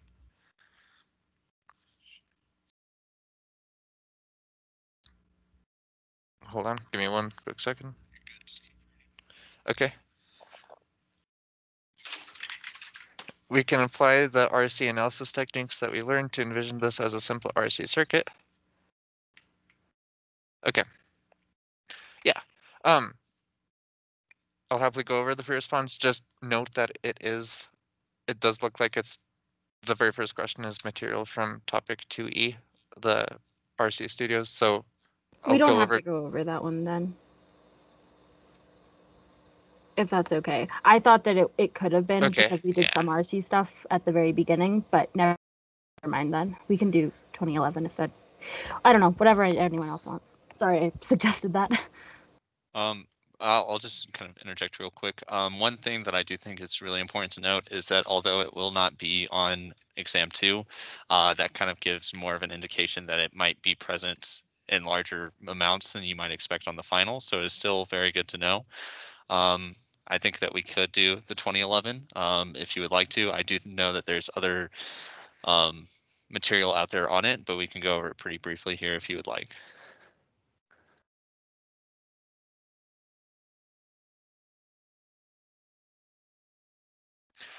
Okay, let's go through 2011 then, if no one's opposed. And not to like, Pat did make the video on the 2011 test, but I think it's good to see it from uh, here a second time. So I think it's it's definitely worth doing. Okay. So a commonly used coaxial cable connecting the video components of your home is the RG6. It has an inner copper conductor with radius A and an outer conductor with radius B. You can treat this cable as a cylindrical capacitor, and the length of that capacitor, the length of that cable you're using is L. Okay. If the inner and outer conductors have charges plus Q and minus Q on them, and if these conductors are separated by styrofoam insulation with dielectric constant kappa, find the electric field expression between the inner and outer uh, uh, conductors. Cool. So this is similar to the problem that we went over during the main review, except here we have cylinders instead of spheres. So let's draw our setup. That's sort of what it looks like.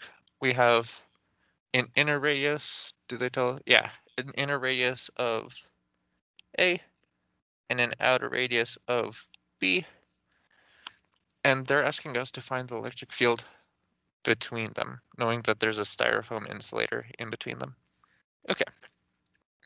Given that there's a dielectric inside that cylindrical capacitor, Gauss's law then reads the closed surface integral of E dot dA is equal to the charge enclosed divided by eps, oops, sorry, divided by epsilon, not epsilon naught.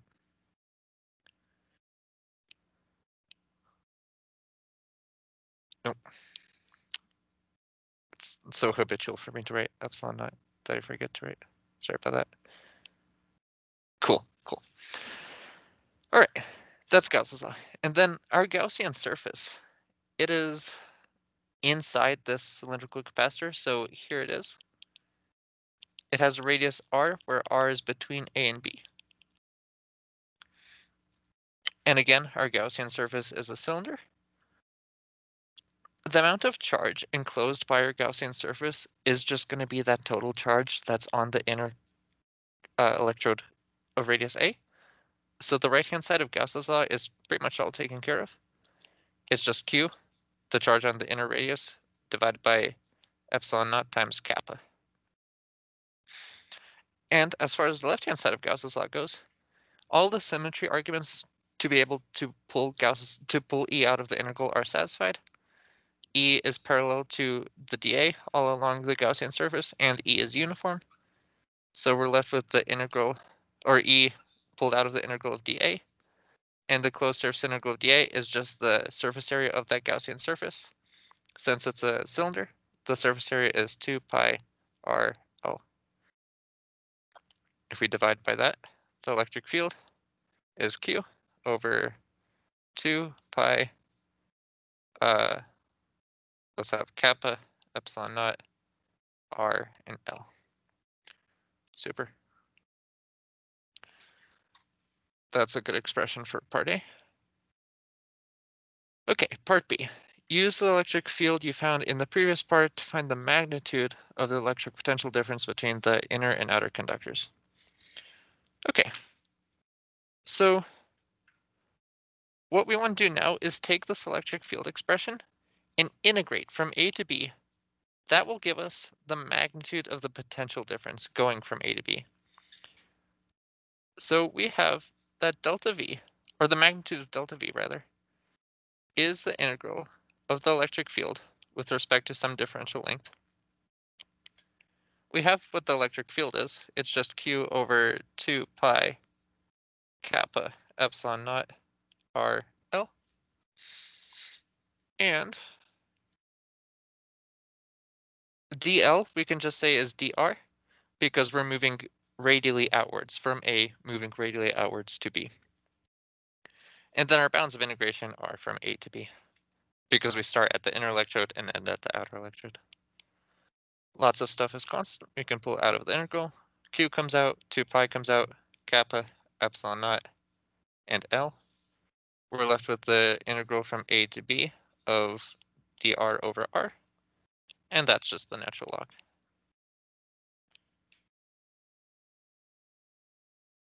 As the natural log of B over A. Any questions so far?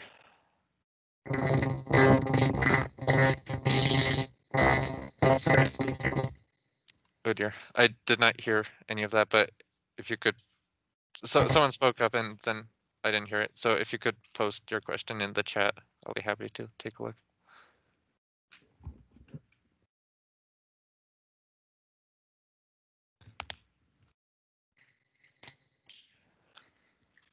Why natural log of B instead of natural log of A? Great question. Our bounds of integration were, um, oh yeah, cool, I can do that. Our bounds of integration were from B to A. So when I take the integral of 1 over r dr from A to B, I have that the antiderivative is the natural log of r, or technically natural log of the absolute value of r, but not too important. Isn't it the negative integral? It is the negative integral, but yes, as before, we want the magnitude of delta V. So whatever integral we get, we're just going to make it positive. And when we go to do that, we have the natural log of B minus the natural log of A, which using log properties simplifies to B over A. Because B is bigger than A, that ratio is going to be bigger than 1, so the natural log of that quantity is going to be positive and hence we're going to get a positive value for our answer. Does that answer the question?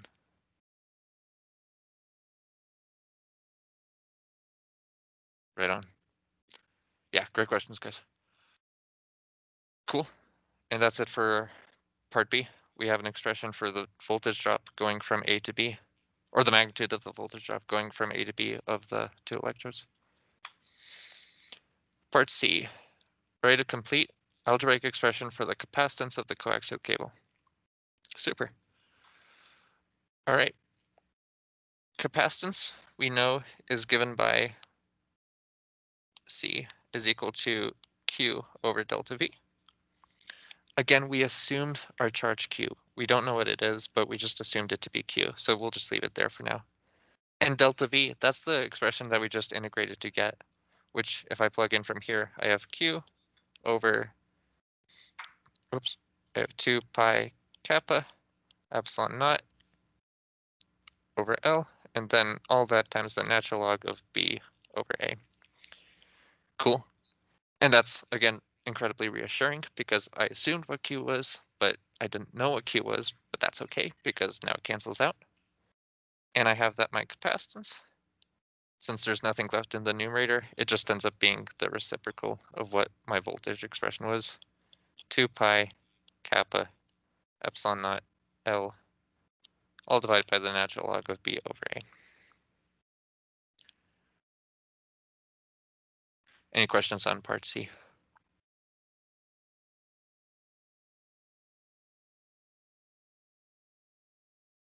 Cool. Part D. In general, you don't want wires to have big capacitances. Stray capacitances can give you a noisy signal. From a design point of view, what can you do to keep the capacitance of the coaxial cable you're using low? Cool. So basically it's telling us to look at this expression for capacitance and see what can we manipulate such that the capacitance is as small as possible. We have a couple things we can do. If we want to keep capacitance small, we can keep the we can keep the dielectric constant really small. So kappa can be small. Some things that have small dielectric constants, vacuums. Vacuum has a dielectric constant of just one because there's no dielectric there. Glass also has really small dielectric constant, I think. 2 pi and epsilon naught we can't change. Those are just constants of nature. But something else we could do to make the capacitance small is make L small. Again, L is in the numerator, so a small value of L will give us a smaller capacitance. And finally, what we can do to make the capacitance as small as possible is we can make the denominator of our expression to be as large as possible. If we have a large denominator, then our expression is going to be uh, small. So that means that in order to get natural log of b over a as large as possible, the ratio b over a has to be big. So b could be substantially bigger than a, and then the ratio b over a is going to be big. The natural log of a big number is a big number because the natural log is an increasing function. It looks like that. And we'll get a bigger, or uh, sorry, a smaller capacitance. And all this sort of harks back to what we were saying earlier with how capacitance is only a function of material properties and geometry. Again, we could change kappa, which is a property of the material. We could change L or B over A, but those are just the geometry. Those are the dimensions of the capacitor. There's nothing we could have changed about the charge or the voltage stored that would have changed the capacitance. Those are constant for what we do.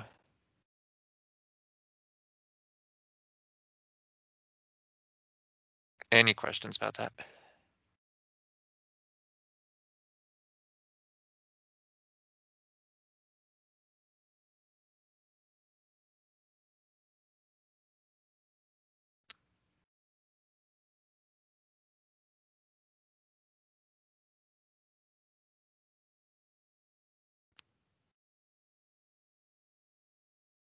Cool. We're probably ready to move on to the next topic, so if someone wants to sug- suggest something to do. Uh, could we go over a question from the uh, 2017 uh, exam? Sure. Uh, it's called um, uh, uh, time-dependent current 2.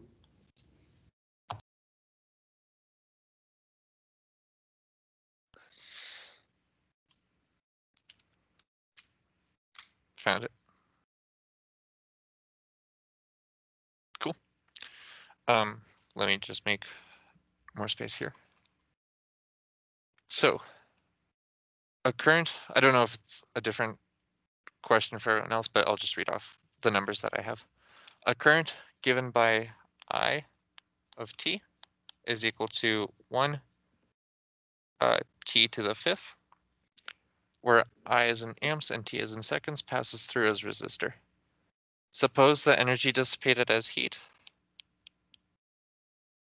Oops, that was just bad. Um, the energy dissipated as heat is 8.846 times 10 to the neg 10 to the plus 6 joules between between t equals 3 and t equals 5 seconds.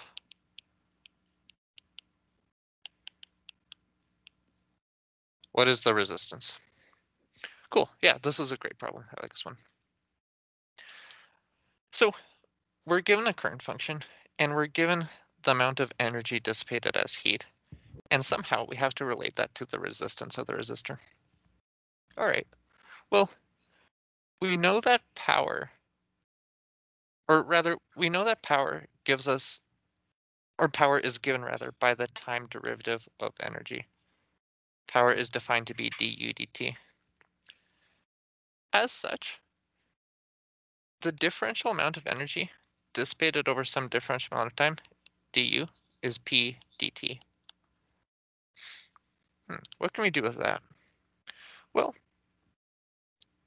if we integrate both sides, that tells us that energy, which is the integral of du, which is the integral of p dt, we're given a starting time and an ending time. So that tells us that this problem probably has something to do over a given time interval. And we happen to know how much power is being dissipated over a resistor in that time interval because we have an expression for power no matter what we do. We're given this, we're given a value for energy, so we're given the left-hand side of this integral. We just have to figure out some stuff with the right-hand side and find a way to extract the resistance from that. All right. Well, we know that power is I times delta V. And we don't know what delta V is, but that's okay because it's dissipated across a resistor. So we can just say that delta V is IR, in which case R power becomes I squared R. And in particular, we have an expression for I. In my case, I is just one times T to the fifth. And I'm squaring that whole entire thing, multiplying by R. That's an expression for my power.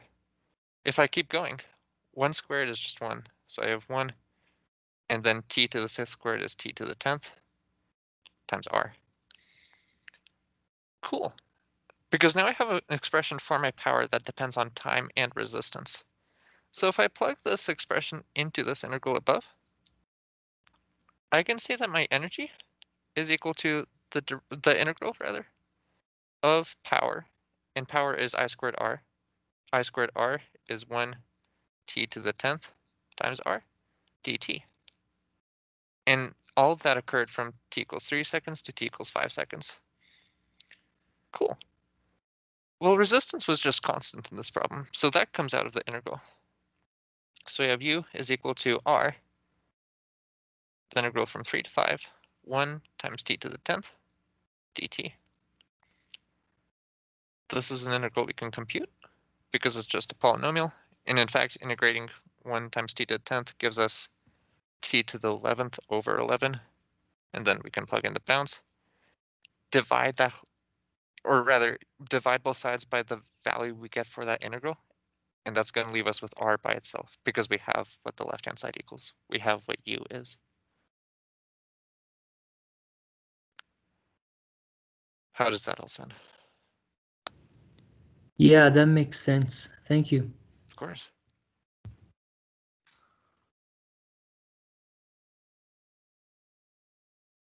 I'm going to hand it off to Cade, who can take the next problem, but keep keep asking questions. Yeah, any other questions from uh, exam review or studio that we want to go over?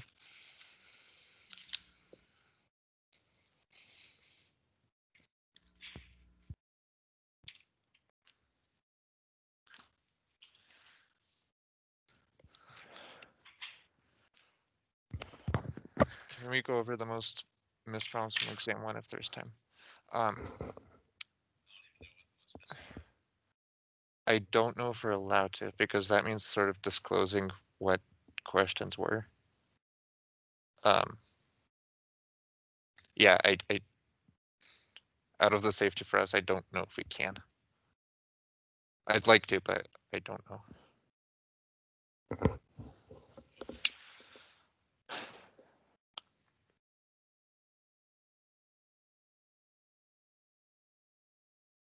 Any other suggestions? Any other things from circuits?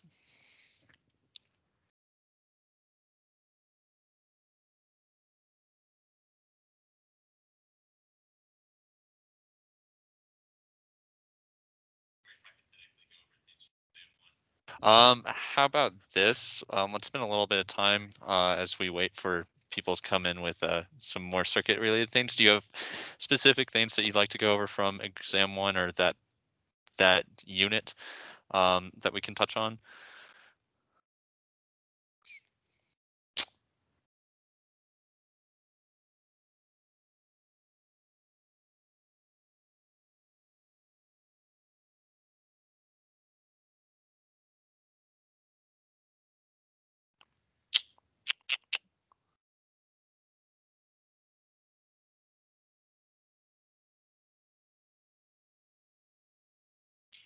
The one cloud problem.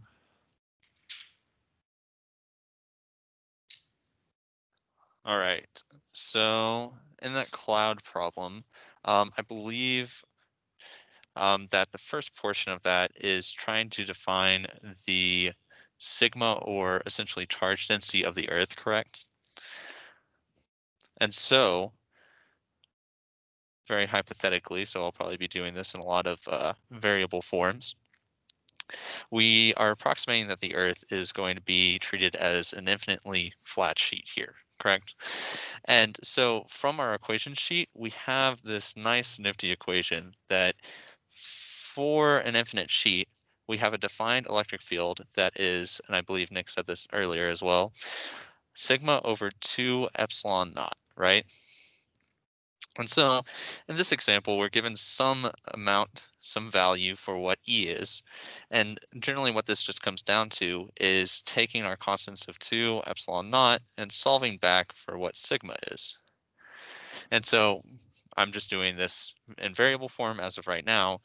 Um, but in that specific problem, electric field was provided to you, and essentially that's all you had to do in order to get to the sigma that was going to be treated for the Earth. The kind of weird thing about this problem is that we're assuming that it's a flat sheet, and that is more specifically something that we get from the problem statement. So I can see how that is a weird thing, um, but really it's how the Earth is curved relative to the cloud at that point. Um, the next portion, so I'll call that part A. The next portion that we went into was evaluating the cloud. And in this part, I believe that we said that we are going to treat the cloud as if it was a perfect circle and that it has some charge density on it, rho, correct? Sound right? And so, Actually, um, some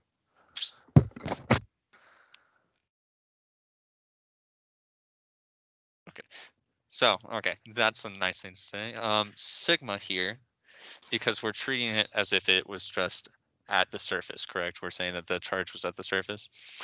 Um, so how would we evaluate this if we are trying to get, what was it for this one, the electric field? Any ideas from the chat? Anybody want to speak up? What do you guys think might be the next step in this process?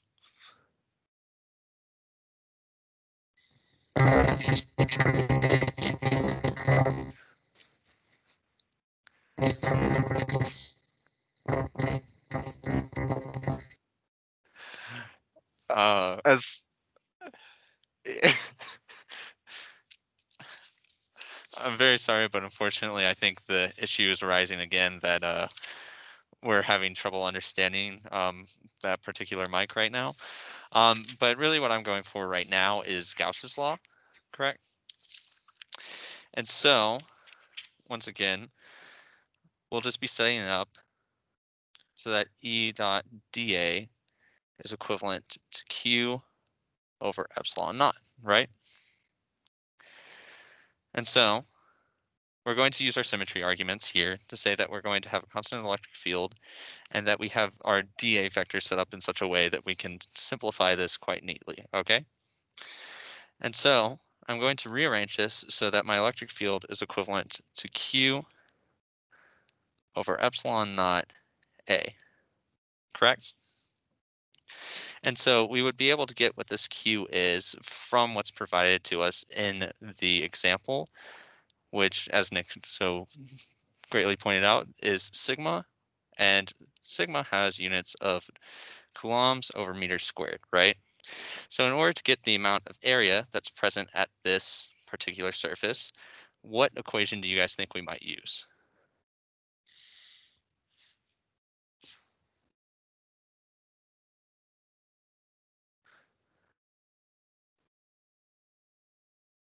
You might use the equation Q is equal to uh, A times rho.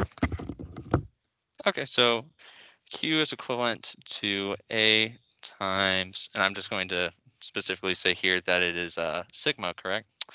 And so what do we want to plug in for what RA is?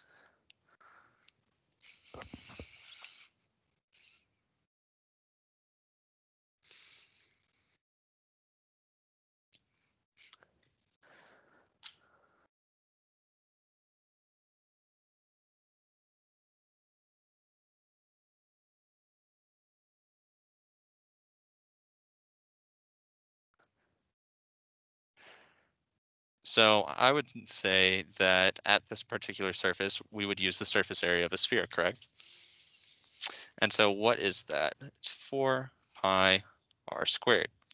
So therefore, in the denominator of our equation, we get sigma multiplied times 4 pi r squared all over epsilon times another area. What is the area that we might use in the denominator there?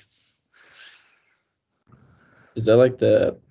Is that like a flat area because it's like the ground?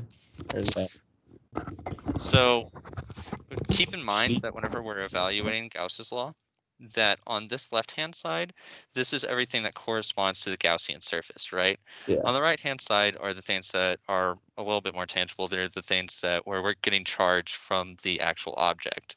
So I don't necessarily remember the setup of this problem right off the top of my head, Mhm. but let's say that we have some Gaussian surface that's a little bit farther out, right? Okay. If anyone does have the problem statement pulled up, feel free to correct me if it's not inside or outside, whichever one it is. Um, so we would be using the essentially surface area at that distance, right? Yeah. Okay, that makes sense.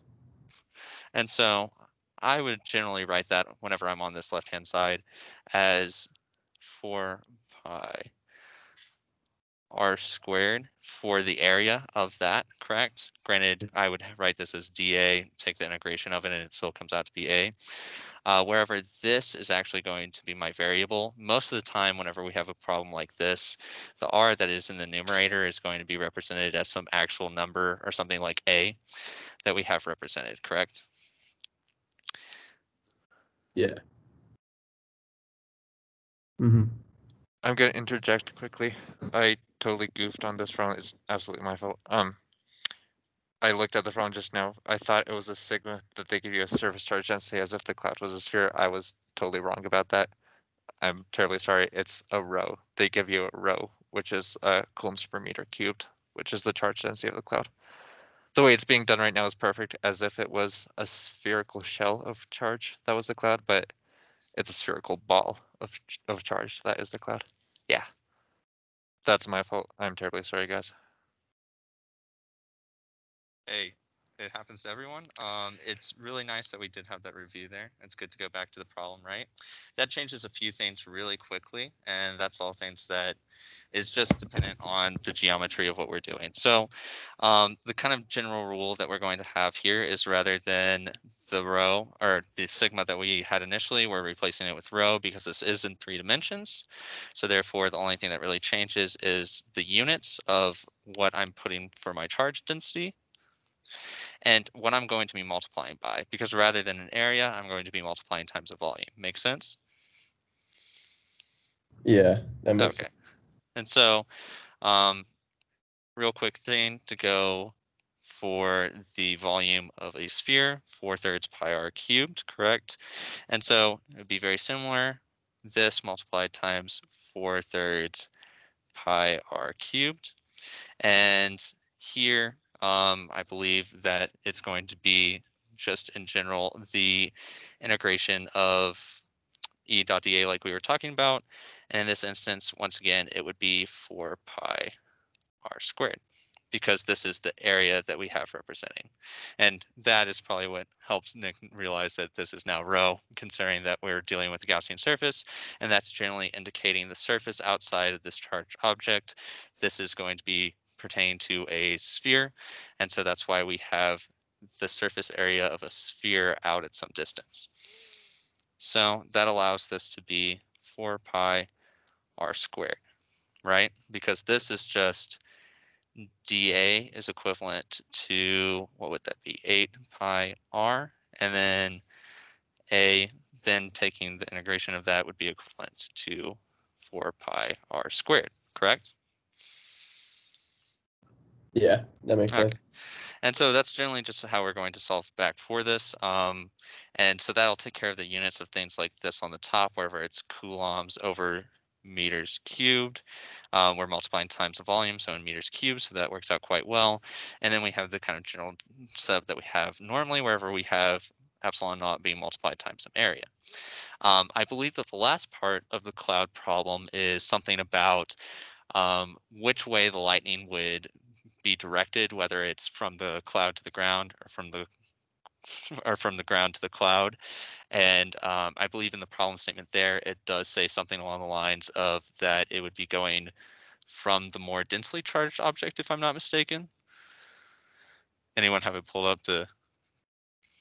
I think Nick's looking at it, so. Yeah, it says, okay, since we now know how to deal with the cloud and ground, we can find the net electric field anywhere in space. Uh, keep in line, keeping in mind that sparks and air are more likely to form in places with bigger electric fields, use this model to predict whether lightning will usually start at the cloud or at the ground. And our model is pretty accurate because the electric field comes from the cloud. Right, so because it comes from the cloud, the further away you get from the cloud, the weaker the electric field is. So the electric field is strongest closest to the cloud. So we'll say that the cloud um, is where lightning starts. Okay, and so generally, um, the thing that we're getting out of this is uh, whether it's implementing an equation for electric field that we had provided on our equation sheet, uh, because we aren't necessarily generally going to be going through things that are you know infinite sheets we provide you a lot of those equations. And then for the second part applying gauss's law so that we can get some form of an equation for this right and the last part is just kind of from the problem statement. Nick just went over that. That's just asking whether it came from the cloud or the ground. And so really this is just applying Gauss's law in a few different ways so that we can kind of get quantifications. Um, the limitation of, you know, us doing a circuits review right now and then going into block one is that I don't necessarily have numbers. Uh, but this is kind of the general setup that you would see. It's just going to be setting up Gauss's law, uh, making sure that you do have the symmetry arguments that we talked about up here earlier, um, because that's always something that they like to kind of harp on for the entirety of the course. They want to make sure that we are following through with those. Um, but in general, does this kind of setup make sense? I know we had a little bit of a road bump there wherever we weren't sure whether it was going to be sigma or rho. Uh, but I hope that helps to kind of clarify how you would approach the cloud problem from there, right? Yeah, that makes sense. I guess like the most confusing part, at least for me, is like how the diagram was displayed and like how it had a distance coming from the ground like to the cloud, and it wanted you to like evaluate the particular distance. I guess that was where I got. Yeah, so um, once again, I think Nick has it in front of him. I th- believe that the reason why they provided some distance in between um, doesn't that have to do with the Gaussian surface and how far out it was going? Yeah, so the the reason for that is because as I have indicated here, I'll just draw some red. Uh, the charge was, I think, contained to the cloud, if I'm not mistaken. And so I believe that in the problem statement, they were asking for you to go out farther than that, um, maybe some distance d, maybe some portion of the distance d, so that you could get an evaluation for the electric field at that distance. Okay, yeah, that makes sense. Okay, so I'll kind of reiterate that. Any questions about setting up Gauss's law or even anything very specific to this problem?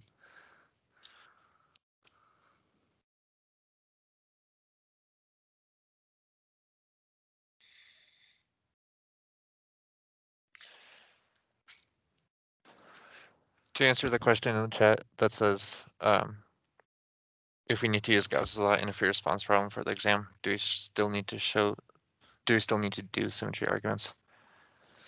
That's a good question. Um, I suspect,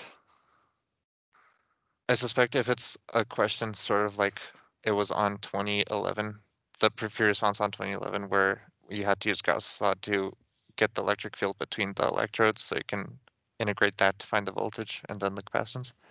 I suspect that won't be an actual explicit point, like saying the symmetry arguments are satisfied. But that's definitely something you're welcome to ask about during the test.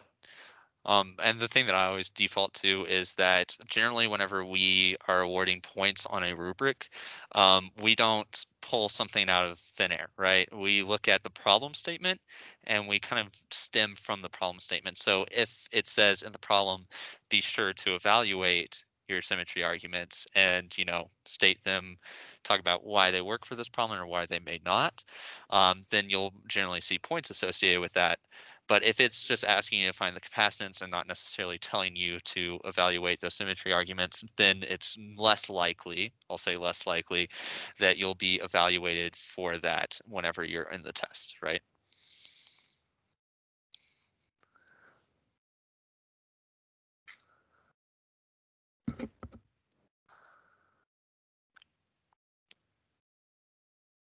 All right.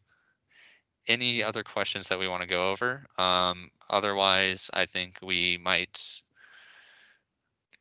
come back to talking about the loop rules um, briefly. And if we don't get any other suggestions, then I believe that we might be coming to an end here.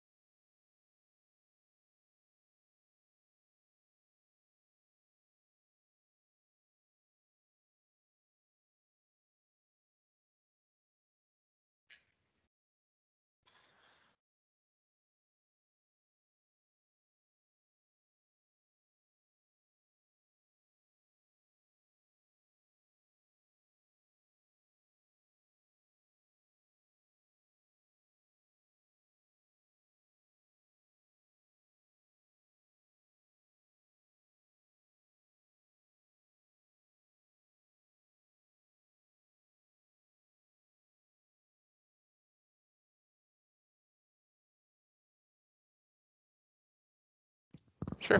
If no one's opposed, we can go back to the loop rules, review those one more time for Kirchhoff's laws. Cool, let's do that.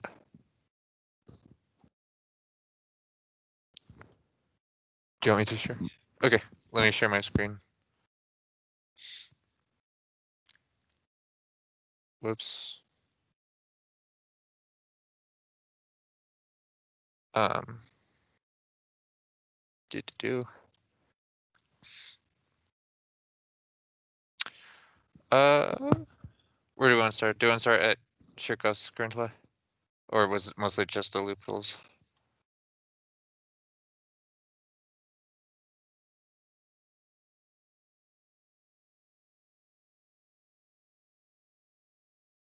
Okay, I'm not hearing anything, so let's just. Um. What, what, what do you think, Kate?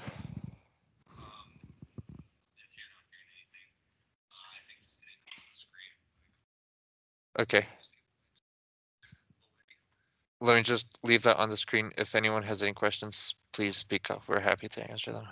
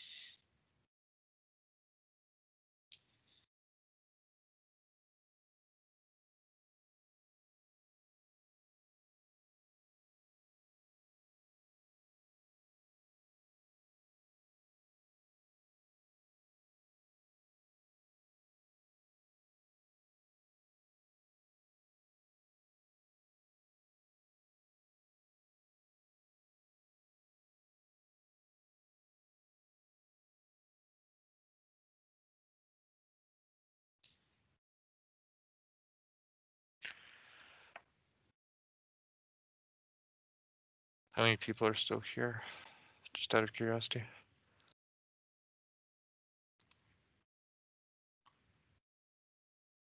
Not that many anymore. Okay. Um.